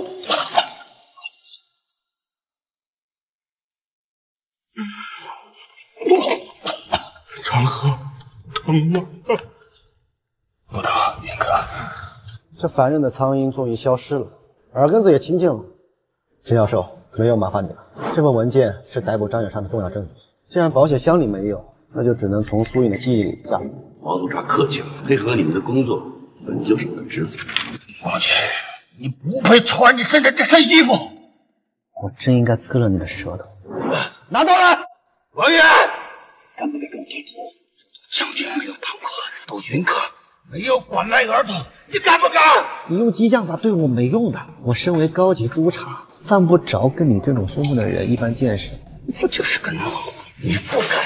你以为你穿这身衣服就能掩盖你是一条狗吗？啊！敢骂我？哦，你拿什么跟我赌？就赌我当天。这个赵长河是不是刚才打把脑袋打坏了？好端端的，为什么要把自己的命放到赌桌上呢？说不定又是他和苏云的计谋。不能小看这个人，等审查结束后，一定要好好查查他的案底。长河不愧是我亲自带出来的兵啊，虽然鲁莽，但也确实够重。可是将军会不会太莽撞了？毕竟赵长河身上还有任务在身呢。你呀，就是太理智了。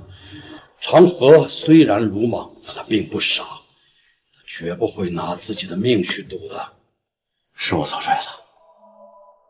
好啊，我可以跟你赌，但是我的命不会放在那个赌桌上面，因为我的命很值钱的。我不要你的命，我只希望我赢了之后，你那个将军给云哥道歉，承认你的品质和狭隘。喂，你在说什么？我一个高级督察跟一个罪犯道歉，长河，你知不知道你在说什么？你不敢我不敢。我是怕你说的太难看。陈教授，播放回忆，我倒是要看看他哪来的自信。给我点时间，很快就可以开始实验了。赵长河，虽然你多次扰乱审判庭的秩序，但罪不至死。我可以最后给你一个机会，你放弃赌约，离开这里，我们安保局可以既往不咎。没错，你有自己的人生，没必要为了他赌上自己的性命。他连自己的亲生女儿都能利用，更何况你一个外人。赵长河，你还不赶快谢谢王督察和苏督察？他们愿意给你这个机会是你的荣幸，你可别不识好歹，别到了最后真下不来台，再哭着求饶。我觉得这个事情没必要较真，本身就是你有错在先，何必把事情弄得这么僵呢？对你没有任何好处。我绝对不会输的。云哥是我最好的兄弟，江姐是我最敬重的人，他们不会犯罪。如果我今天死在这儿，别无悔。你这是何苦啊？咎由自取，等死。我已经准备好了，可以开始了。开始吧，先播放苏云投靠夏美和的回忆，我让你彻底死心。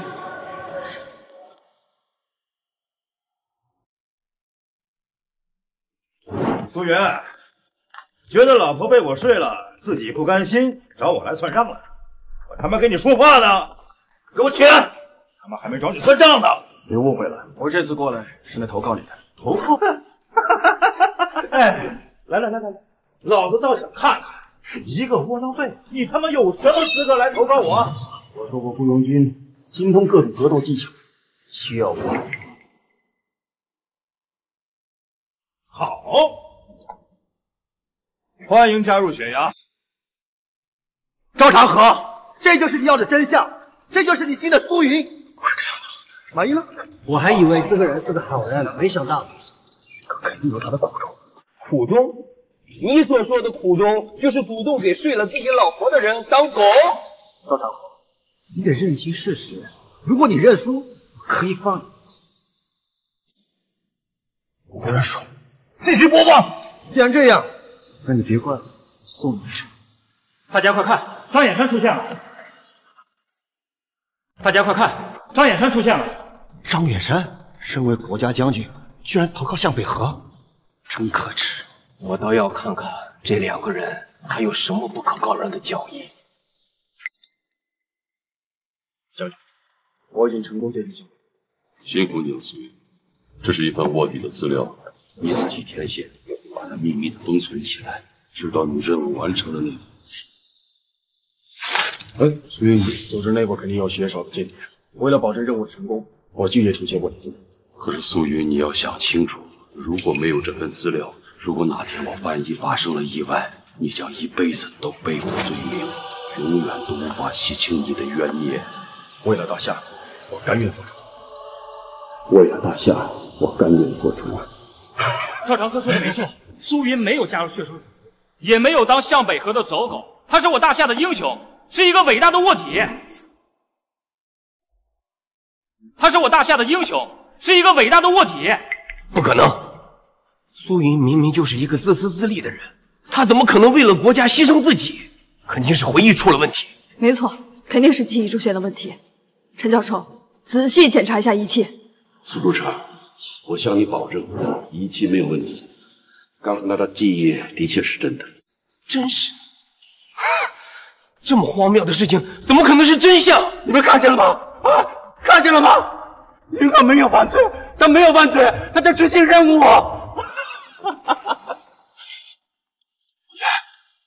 我赢了，我赢了！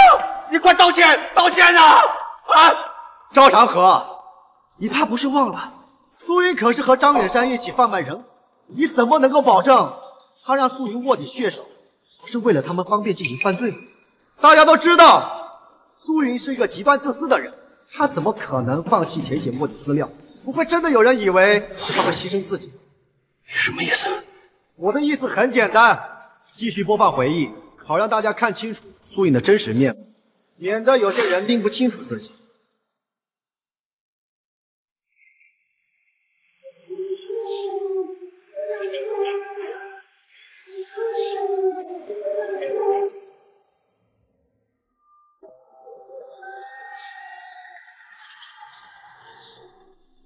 好了把嘴都给我闭上谁要再哭我的腿打断。信到了，没错，这些孩子都是我们从各个村里偷来的，一个个健康好，精品血，您看您还满意？干得不错。咱们之前和选手交易地点换过，我记得不在这儿。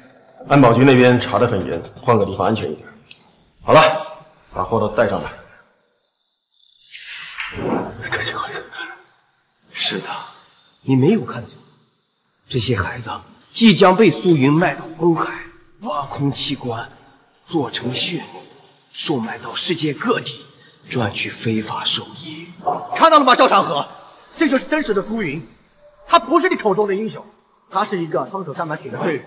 张远山派他加入血手，为的就是为了实现他罪恶的计划。王督察果然明察秋毫，慧眼推断的如此准确。张远山还真是一个老狐狸，若不是我们能够记忆回溯，还真不知道这些事情的背后都有他在推波助澜。但是他现在已经藏不住，我们已经抓住了他的狐狸尾巴。苏云和张远山必须一起死，只是可惜啊，这么明显的线索摆在面前，却有人要装瞎子，真是愚蠢，愚蠢至极呀！赵长河，我知道你心有不甘，但这就是事实，你没必要为了他们牺牲自己的性命，也该学会死心了。苏督察真是宅心仁厚啊，都到现在了，还不忘给赵长河一个机会。赌注还没结束，我相信他们。你还冥顽不灵？那这屏幕里播放的画面是什么意思？苏云绑架这些孩子是为了救他们？我不知道。你真够蠢，被别人卖了还替别人数钱。今天你的命告诉。你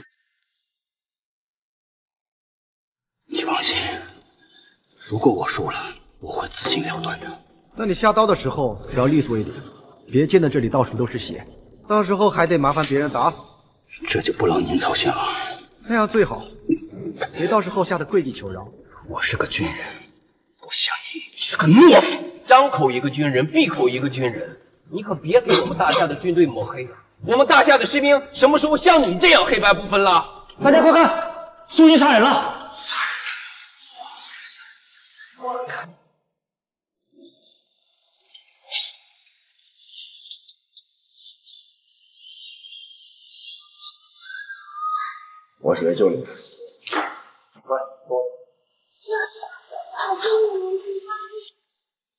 快，快，上！快快快快快！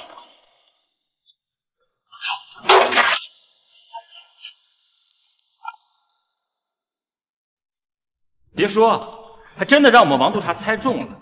苏云确实救了那些孩子，但他没有打着卧底的旗号去犯罪，反而救了那些孩子。王督察，你这脸打的疼不疼？我就说云哥没有犯罪，他救了这些孩子。身为书记员，你连基本的判断力都没有，你真的觉得苏云是来救这些孩子的吗？你是在说什么？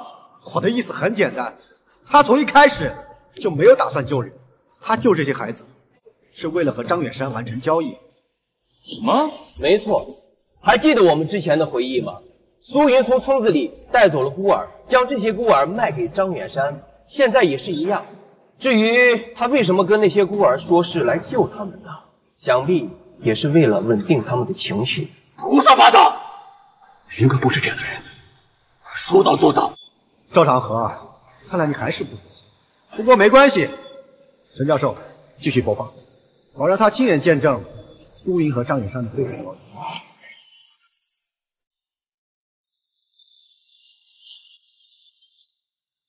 前方军事基地，请马上离开，否则我们将会开枪。兄弟们，是我苏云。原来是云哥呀！将军在吗？苏云，你们两个回避一下，我跟苏云有重要的事情要谈。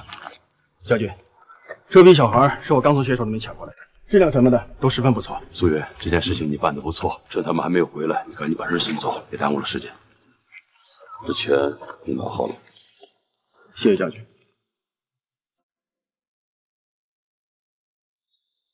赵长河，苏云救那些孩子，确实是为了完成和张远山的交易，你还有什么可以狡辩的？无话可说。那好，你自己了解。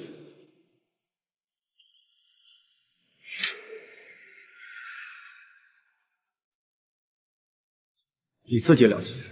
人都无数。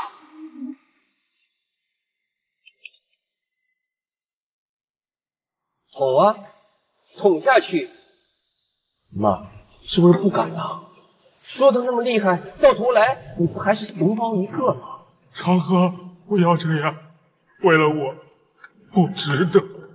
林哥，我的命是你从死人堆里救出来的，长河，早该还给你了。不是这样。如果你真的叛国的话，我愿意跟你一起去死。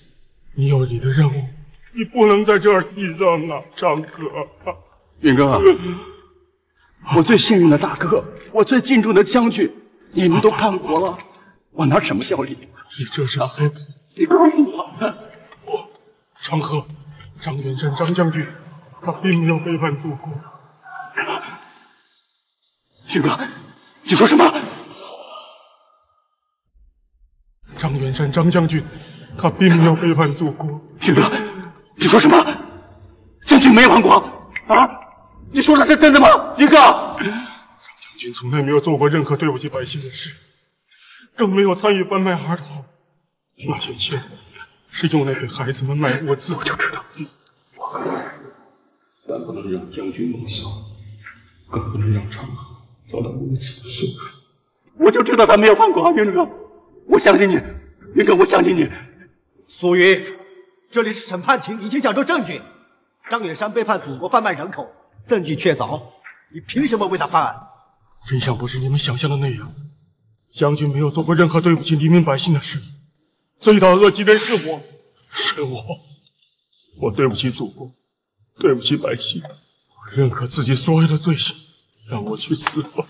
既然你认罪，一个罪人的话有多少可信度？没错，要我说，苏云和张远山之间肯定还酝酿着什么别的不为人知的阴谋，他怕我们继续查下去，会将这个阴谋暴露出来。阴谋？你什么意思？经过我刚才的观察。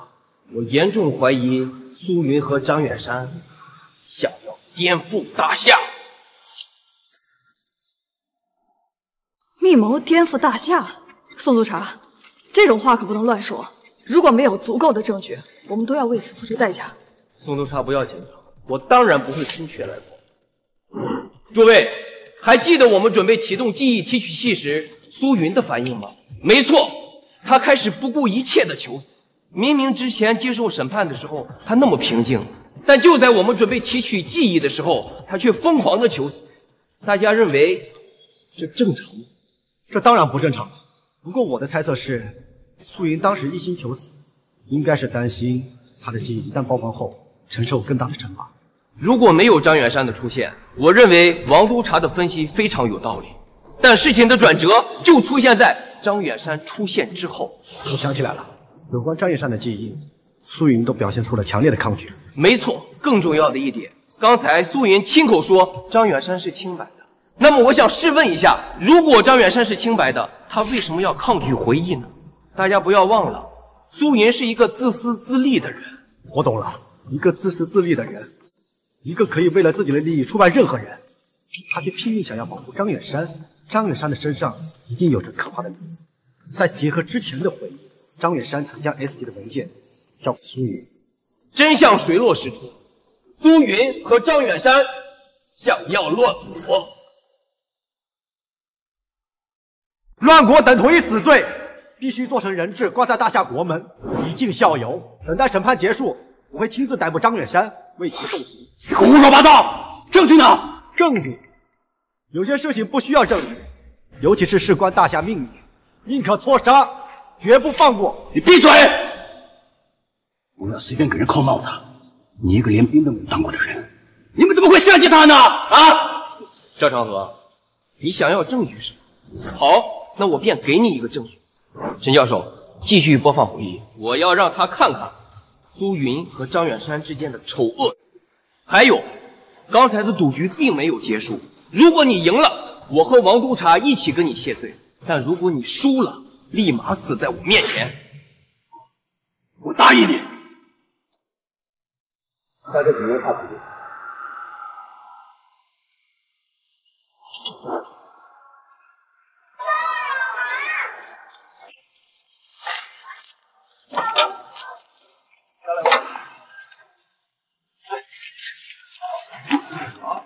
这是哪里？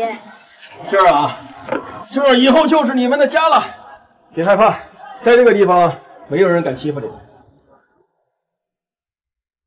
云大哥，云大哥，你又给我们带好吃的来了。哎呀，这才多久没见，长这么高了？嗯，怎么样？生活满不满意？训练辛不辛苦？不辛苦，一点都不辛苦，在这里有吃有喝，还有很多好朋友，比我们的村子里要好多了。好，那就好，大家一定要好好训练，千万不要偷懒。你们日后可是背负着守护苍生的使命，谁要是偷懒了，到时候就会有无辜的同胞丧命，知不知道？训练去吧。哎，你们几个也跟着去。苏云啊，将军，你这个方法确实不错，既方便了你潜入血手，又培养出了一批尖兵。我以前也是孤儿，我看着他们，总能想起自己。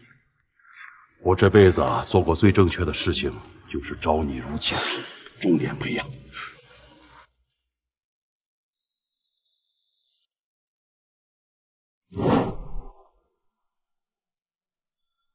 真的太感人了。苏云不但没有卖掉那些孩子，反而让那些孩子过上了更好的生活，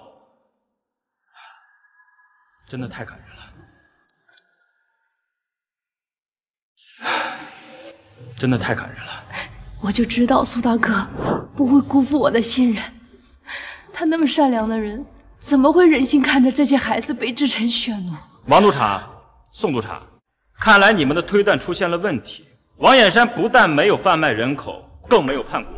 书记员说的对，这一切的推断都是无稽之谈。将军辱骂你，差点毁在你们手上。不可能，我的推断不可能出错，一定是，一定是回忆出了问题，一定是他。陈教授已经说过了，他的机器是不会出现问题。宋先生，我不知道你为什么要横插一脚进来。现在这种局面。只能说是你咎由自取，云哥，我们赢了。王远，给将军，给云哥道歉。我王远行得端，坐得正，有什么输不起的？我也是，不就是道歉吗？苏云，我向王督察，等一下，情况有些不对劲呐。这些孤儿为什么没有部队的编号？我大夏的正规军可都是有编号的，我大夏的正规军可都是有编号的。没错，我确实没有见过部队的编号，而且很不符合常理。我从来没有听说过有哪一支部队是全部由孤儿组成的。一支没有编号且从来没有听说过的部队，也就是说，这些孤儿很有可能是张雨散的私人部队，他背着大夏打造的独立武装。大夏律法规定，任何人不得拥有私人武装。差点又让苏云给骗了。苏云，我还真是低估了你啊！要不是陈教授提醒我，还真让你得逞了。谁告诉你们每一支部队都必须有番号？这些孤儿抵属的是一支独立于系统之外的特种部队，执行的是非常危险的任务。如果让世人知道他们的存在，对于他们来说才是最不负责任的行为。哦，大家都听到了吗？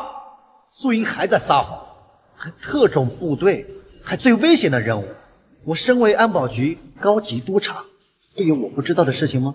要我说，不如现在就把苏云制成人质，省得他在这里撒谎。这群蠢货，用“蠢”这个字都是在夸他们了。苏云把话已经说到这个份上，他们还是不相信。哎呀，可怜将军您的一世英名啊，全被他们给糟蹋了。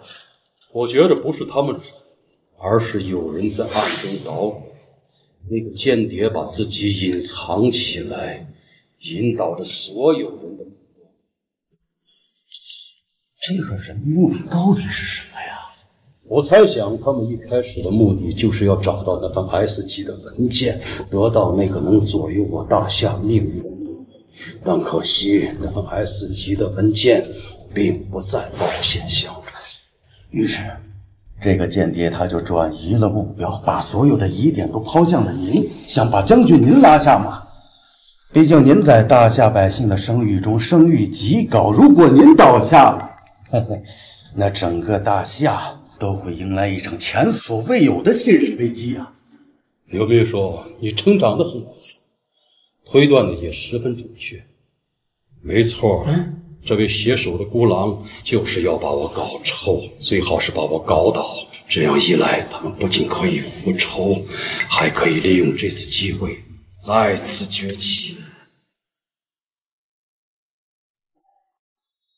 对了，刘秘书，既然你分析的这么准确，不如你来猜一猜，楼下的这些人当中，究竟谁才是写手的间谍呀？我不太确定，不过有两个人嫌疑最大，一个是王源，一个是宋岩。在整个审判过程中，只有这两个人最为活跃，而且屡次宋岩还污蔑您是叛乱。嗯，没错，你分析的很有道理。如果单从表面现象来看，确实是这两个人的嫌疑最大。那将军，您觉得会是谁呢？我倒是觉着这楼下的每一个人，个个都像是携手的间谍。不，不仅是楼下，就连我们这里也有可能存在着携手的间谍。你说是吧，刘秘书？嗯，将军，你你可千万别吓我呀！我跟着您二十年当你秘书了，我不逗你了，傻小子！哎，你可是把我给吓死了。哎，玩笑归玩笑，不过我要提醒你的是，要时刻保持警惕。嗯，这间谍很可能不止一个人，而且也不会只存在于一个地方。将军，您的意思，这间谍我们四人中的二了？携手他就是一群疯子，你要记住在警卫团学到的东西。老夫的这条命现在可都交到你的手里了。将军，您放心，我就算是死，也要保护你。给外面的小伙子们发一条消息，就说他们的云哥就要被人做成人质了。将军，不是说秘密行动吗？只要我们两个不出面，就算是秘密行动。我倒要看看那只老狐狸到底有什么对策。来人，将苏云做成人质。各位，这位就是我们安保局最优秀的执法人员，他的刀法十分出众，可以挖掉苏云所有的器官，同时又保证他不会那么快死。苏云，人质刑罚比死痛苦一万倍，我再给你个机会，只要你说出那支部队的下落，承认错误。秦阳，我说的都是真的。醒醒，先把苏云的双眼给我挖掉。苏云，你说呀，你说呀！来人，先把苏云的双眼给我挖掉。王源，你是不是疯了？云哥已经说了，那些孩子隶属于神秘部队，你为什么要咄咄逼人呢？苏云的谎言不会再有人相信，那些孤儿分明就是张远山密谋叛国，私人武装。云哥没有撒谎，他从进入审判厅开始一句谎话没有啊！他让你们不要打开保险箱，你们不相信。他说那些孩子没有被拐卖，你们还是不相信。我看你们根本就没打算放过他。赵长河，你要明白一件事情：现在接受审判的是苏云，犯下弥天大罪的人也是苏云，而不是我和王督察。我们可以选择相信，自然也可以选择不信。还愣着干什么？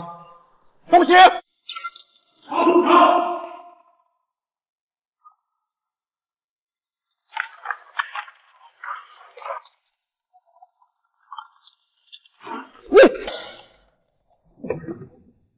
你们是谁？这里是审判厅，闲杂人等速速离开。我们是大夏护国军，在大夏境内任何地方我们都能去。简直胡扯！我们大夏根本就没有你们这号军团。我也从来没有听说过你们这个部队的名字，你说对吧，王督察？我也从来没有听说过，还有他们这样一支部队。他们该不会是苏云请来的群演吧？嗯，不排除这种可能。毕竟回忆即将结束，苏云如果想要翻案，现在就是绝佳的时机。这群演也不太正规啊，这衣服一看就不正规，这枪也假的不能再假了。呀，还挺结实。说吧，苏云给你们多少钱？把你的脏手拿开！拽什么拽？一群臭群演，我没让人把你们抓起来，已经是我对你们的仁慈了。苏云给你们多少钱？我双倍给你。别拿钱侮辱我们！不要用钱侮辱你们，我没听错吧？你们一群臭群演，敢这么和我说话？信不信我以扰乱审判厅秩序的名义，将你们全部抓起来？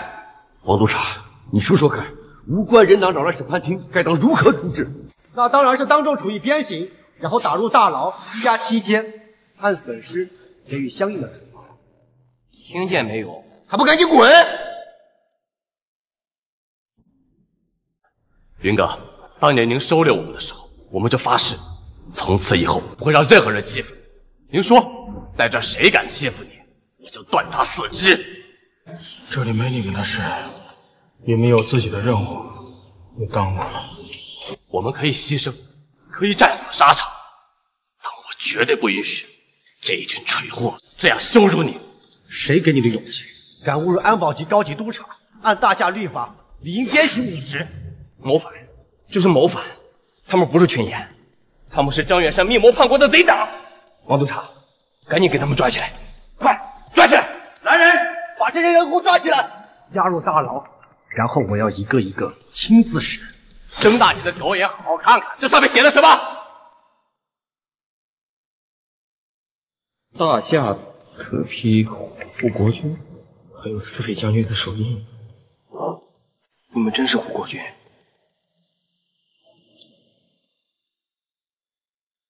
你们真是护国军？不可能！我身为安保局高级督察，我怎么从来没有听说过有什么护国军？这个证件不会是假的吧？博远，你们安保局的总负责人都没资格接触我们，你也不掂量一下你自己的身份，你配吗？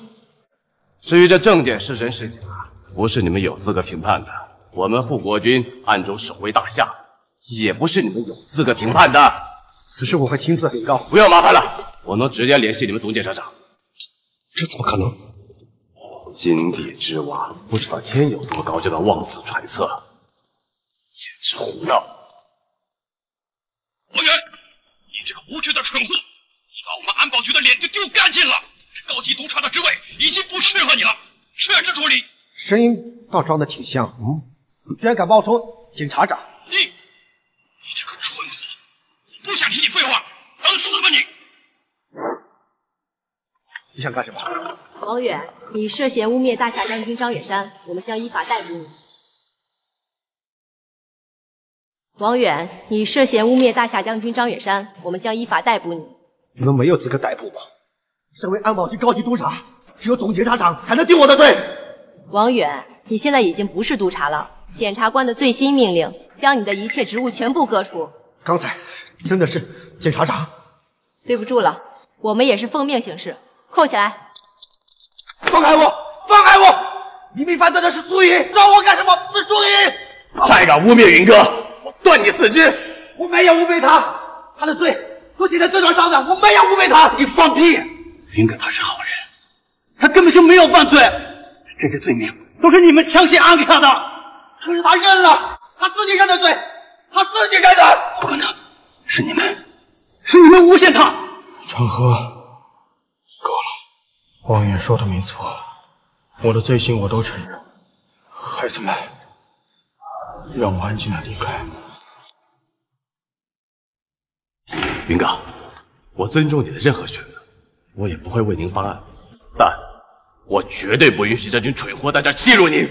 是啊，云哥，我们从小都是您养大的孩子，就让我们为你付出一下吧。兄弟们，把姓陈的和姓宋的给我抓起来！哎哎，你们抓我干什么？不要抓我呀！你们没有这个权利。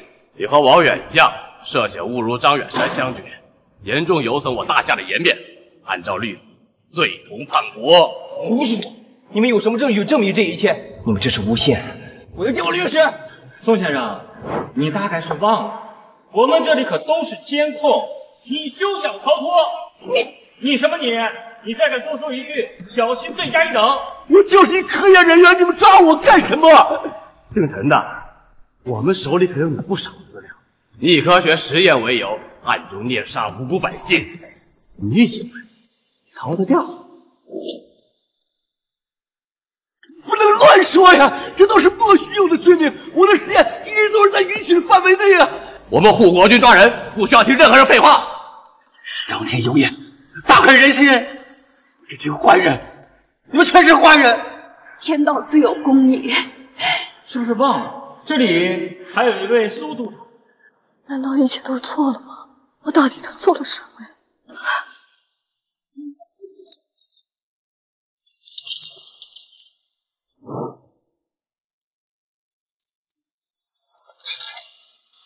本性不坏，只是一直被人欺骗，才会误会。青阳，你不要再相信他了，他是骗你的，当年就是他卖了你。青阳，不要信他。青阳，当年就是他卖了你，不要信他。苏云，我承认你是个英雄，但这并不代表我会原谅你。你对我的伤害无法弥补，今天这一切也都是以牺牲我为代价换来的，不是吗？对不起，我没能给你一个幸福的童年。我知道这些伤痕无法愈合，爸爸一直都在想办法弥补你。努力，你的努力就是亲手把我送给别人。如果不是后来我被人救了，我早就被夏美和杀死了。真相不是这样。那真相是什么？你证明给我看。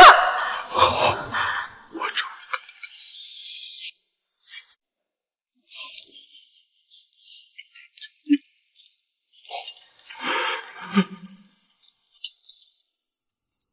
不行，云哥，绝对不行！我们刚调查过，这台记忆提取器是以损害脑细胞为大家运行的。若是再提取下去，云哥，你会脑死亡的。死？哈哈哈脑死亡也不是什么严重的事情，最好的结果是植物人，最坏的结果就是死。死？陈教授，你之前可不是这么说的，你骗我！宋督察，你太蠢了！这种东西怎么会是无害的？为了完成实验，就必须有人牺牲。闭嘴！为了完成我的实验，我愿意放弃一切，而这一切都要感谢你们，为我提供了一位意志力如此强大的实验品。你这个疯子，杀了我呀！动手啊！云哥，身体已经扛不住了，不能再继续实验了，云哥。长河，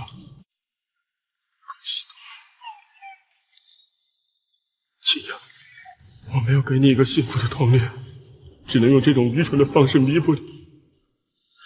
我死以后，你就是抓了国际顶尖罪犯的高级督察，我也就安心了。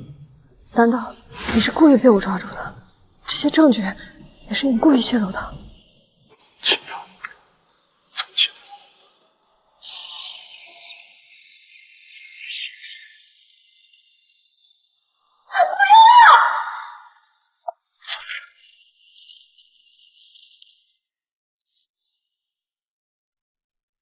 苏清雅，上回让你侥幸逃了，相爷我对你是日思夜想。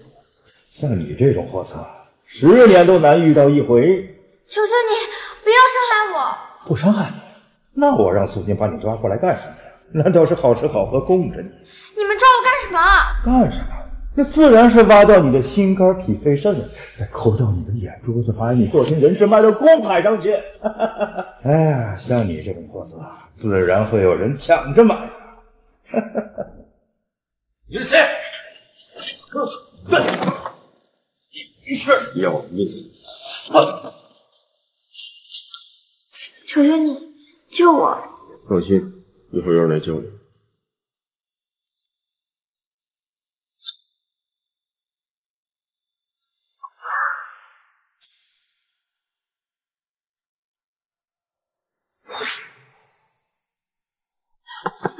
云哥，云哥，我真蠢，我真该死！云哥，你怎么这么傻呀，云哥？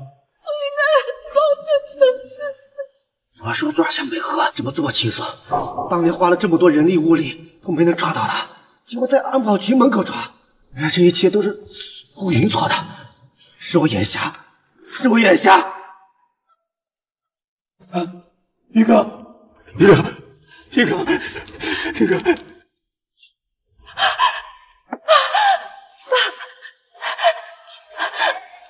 没事，没死不就证明我的实验成功了？我成功了，我终于成功了！你还记得十八岁那年生日礼物？我记得，那是一把雨伞，我以为是神农梅给我的，我一直带在身上。S 级文件就在这里。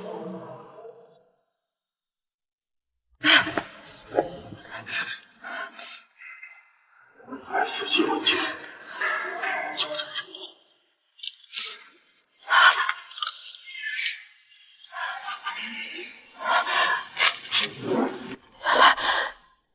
你重要的东西给我了，答应我，一定要好好保护。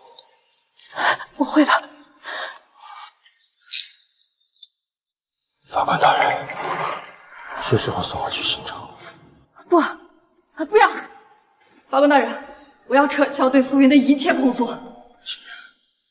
我得到一张时日不多，这是我最后的心愿。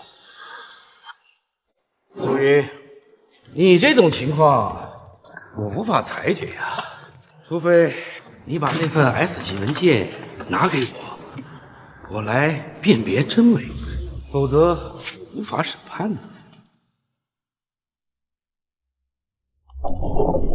慢着，老狐狸，你的狐狸尾巴终于露出来了。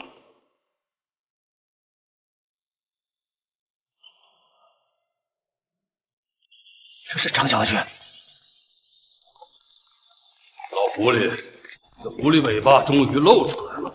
张老将军怎么来到了现场？难道说法官也触犯了法律？不要做没有证据的猜测。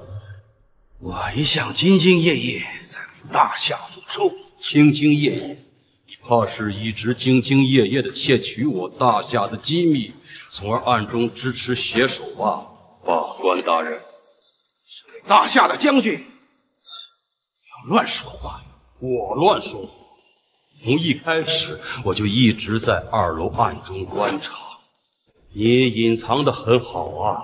你看似秉公执法，却一直在暗中操作着整个审判。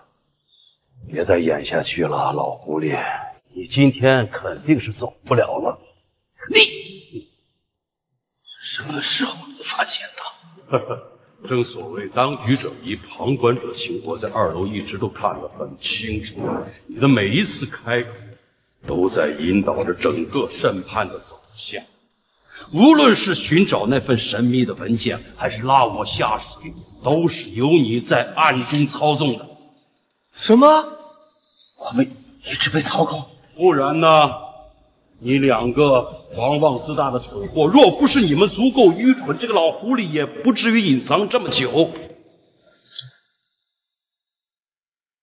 没想到法官就是血手组织的间谍，幸亏发现的早，不然事情就大了。你这个畜生！苏云，你很好，我会永远记住你的。要是没有你，我们血手也不会覆灭的。没想到。血手还有残党，我们的实力不是你们能够想象的。是，我承认我败了，我们血手没有败。哼哼哼哼哼！你给我听好了，无论你们有多少人，无论你们的根有多深，我都会把你们挖出来，一一铲除。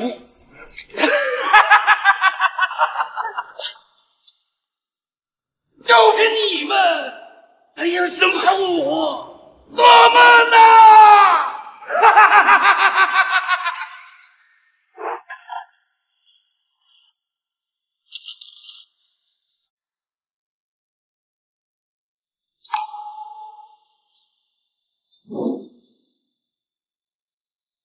饺 子来了！哎，爸，这可都是你最爱吃的三鲜馅了，快尝尝女儿的手艺。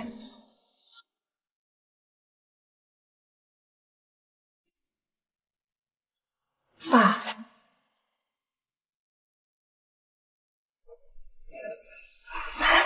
好吃吗？快，吃起来。小子，阖家欢乐，好温馨呐！啊，苏云、清雅，我来是要代表组织上宣布一项重大决定。苏云，我的有功，荣获特等功勋，特委任为安保局总检察长。多谢将军，老苏，你不用担心自己的病了，我们已经为你找到了最好的医生。务必要将你医好，这么多年来让你受苦了。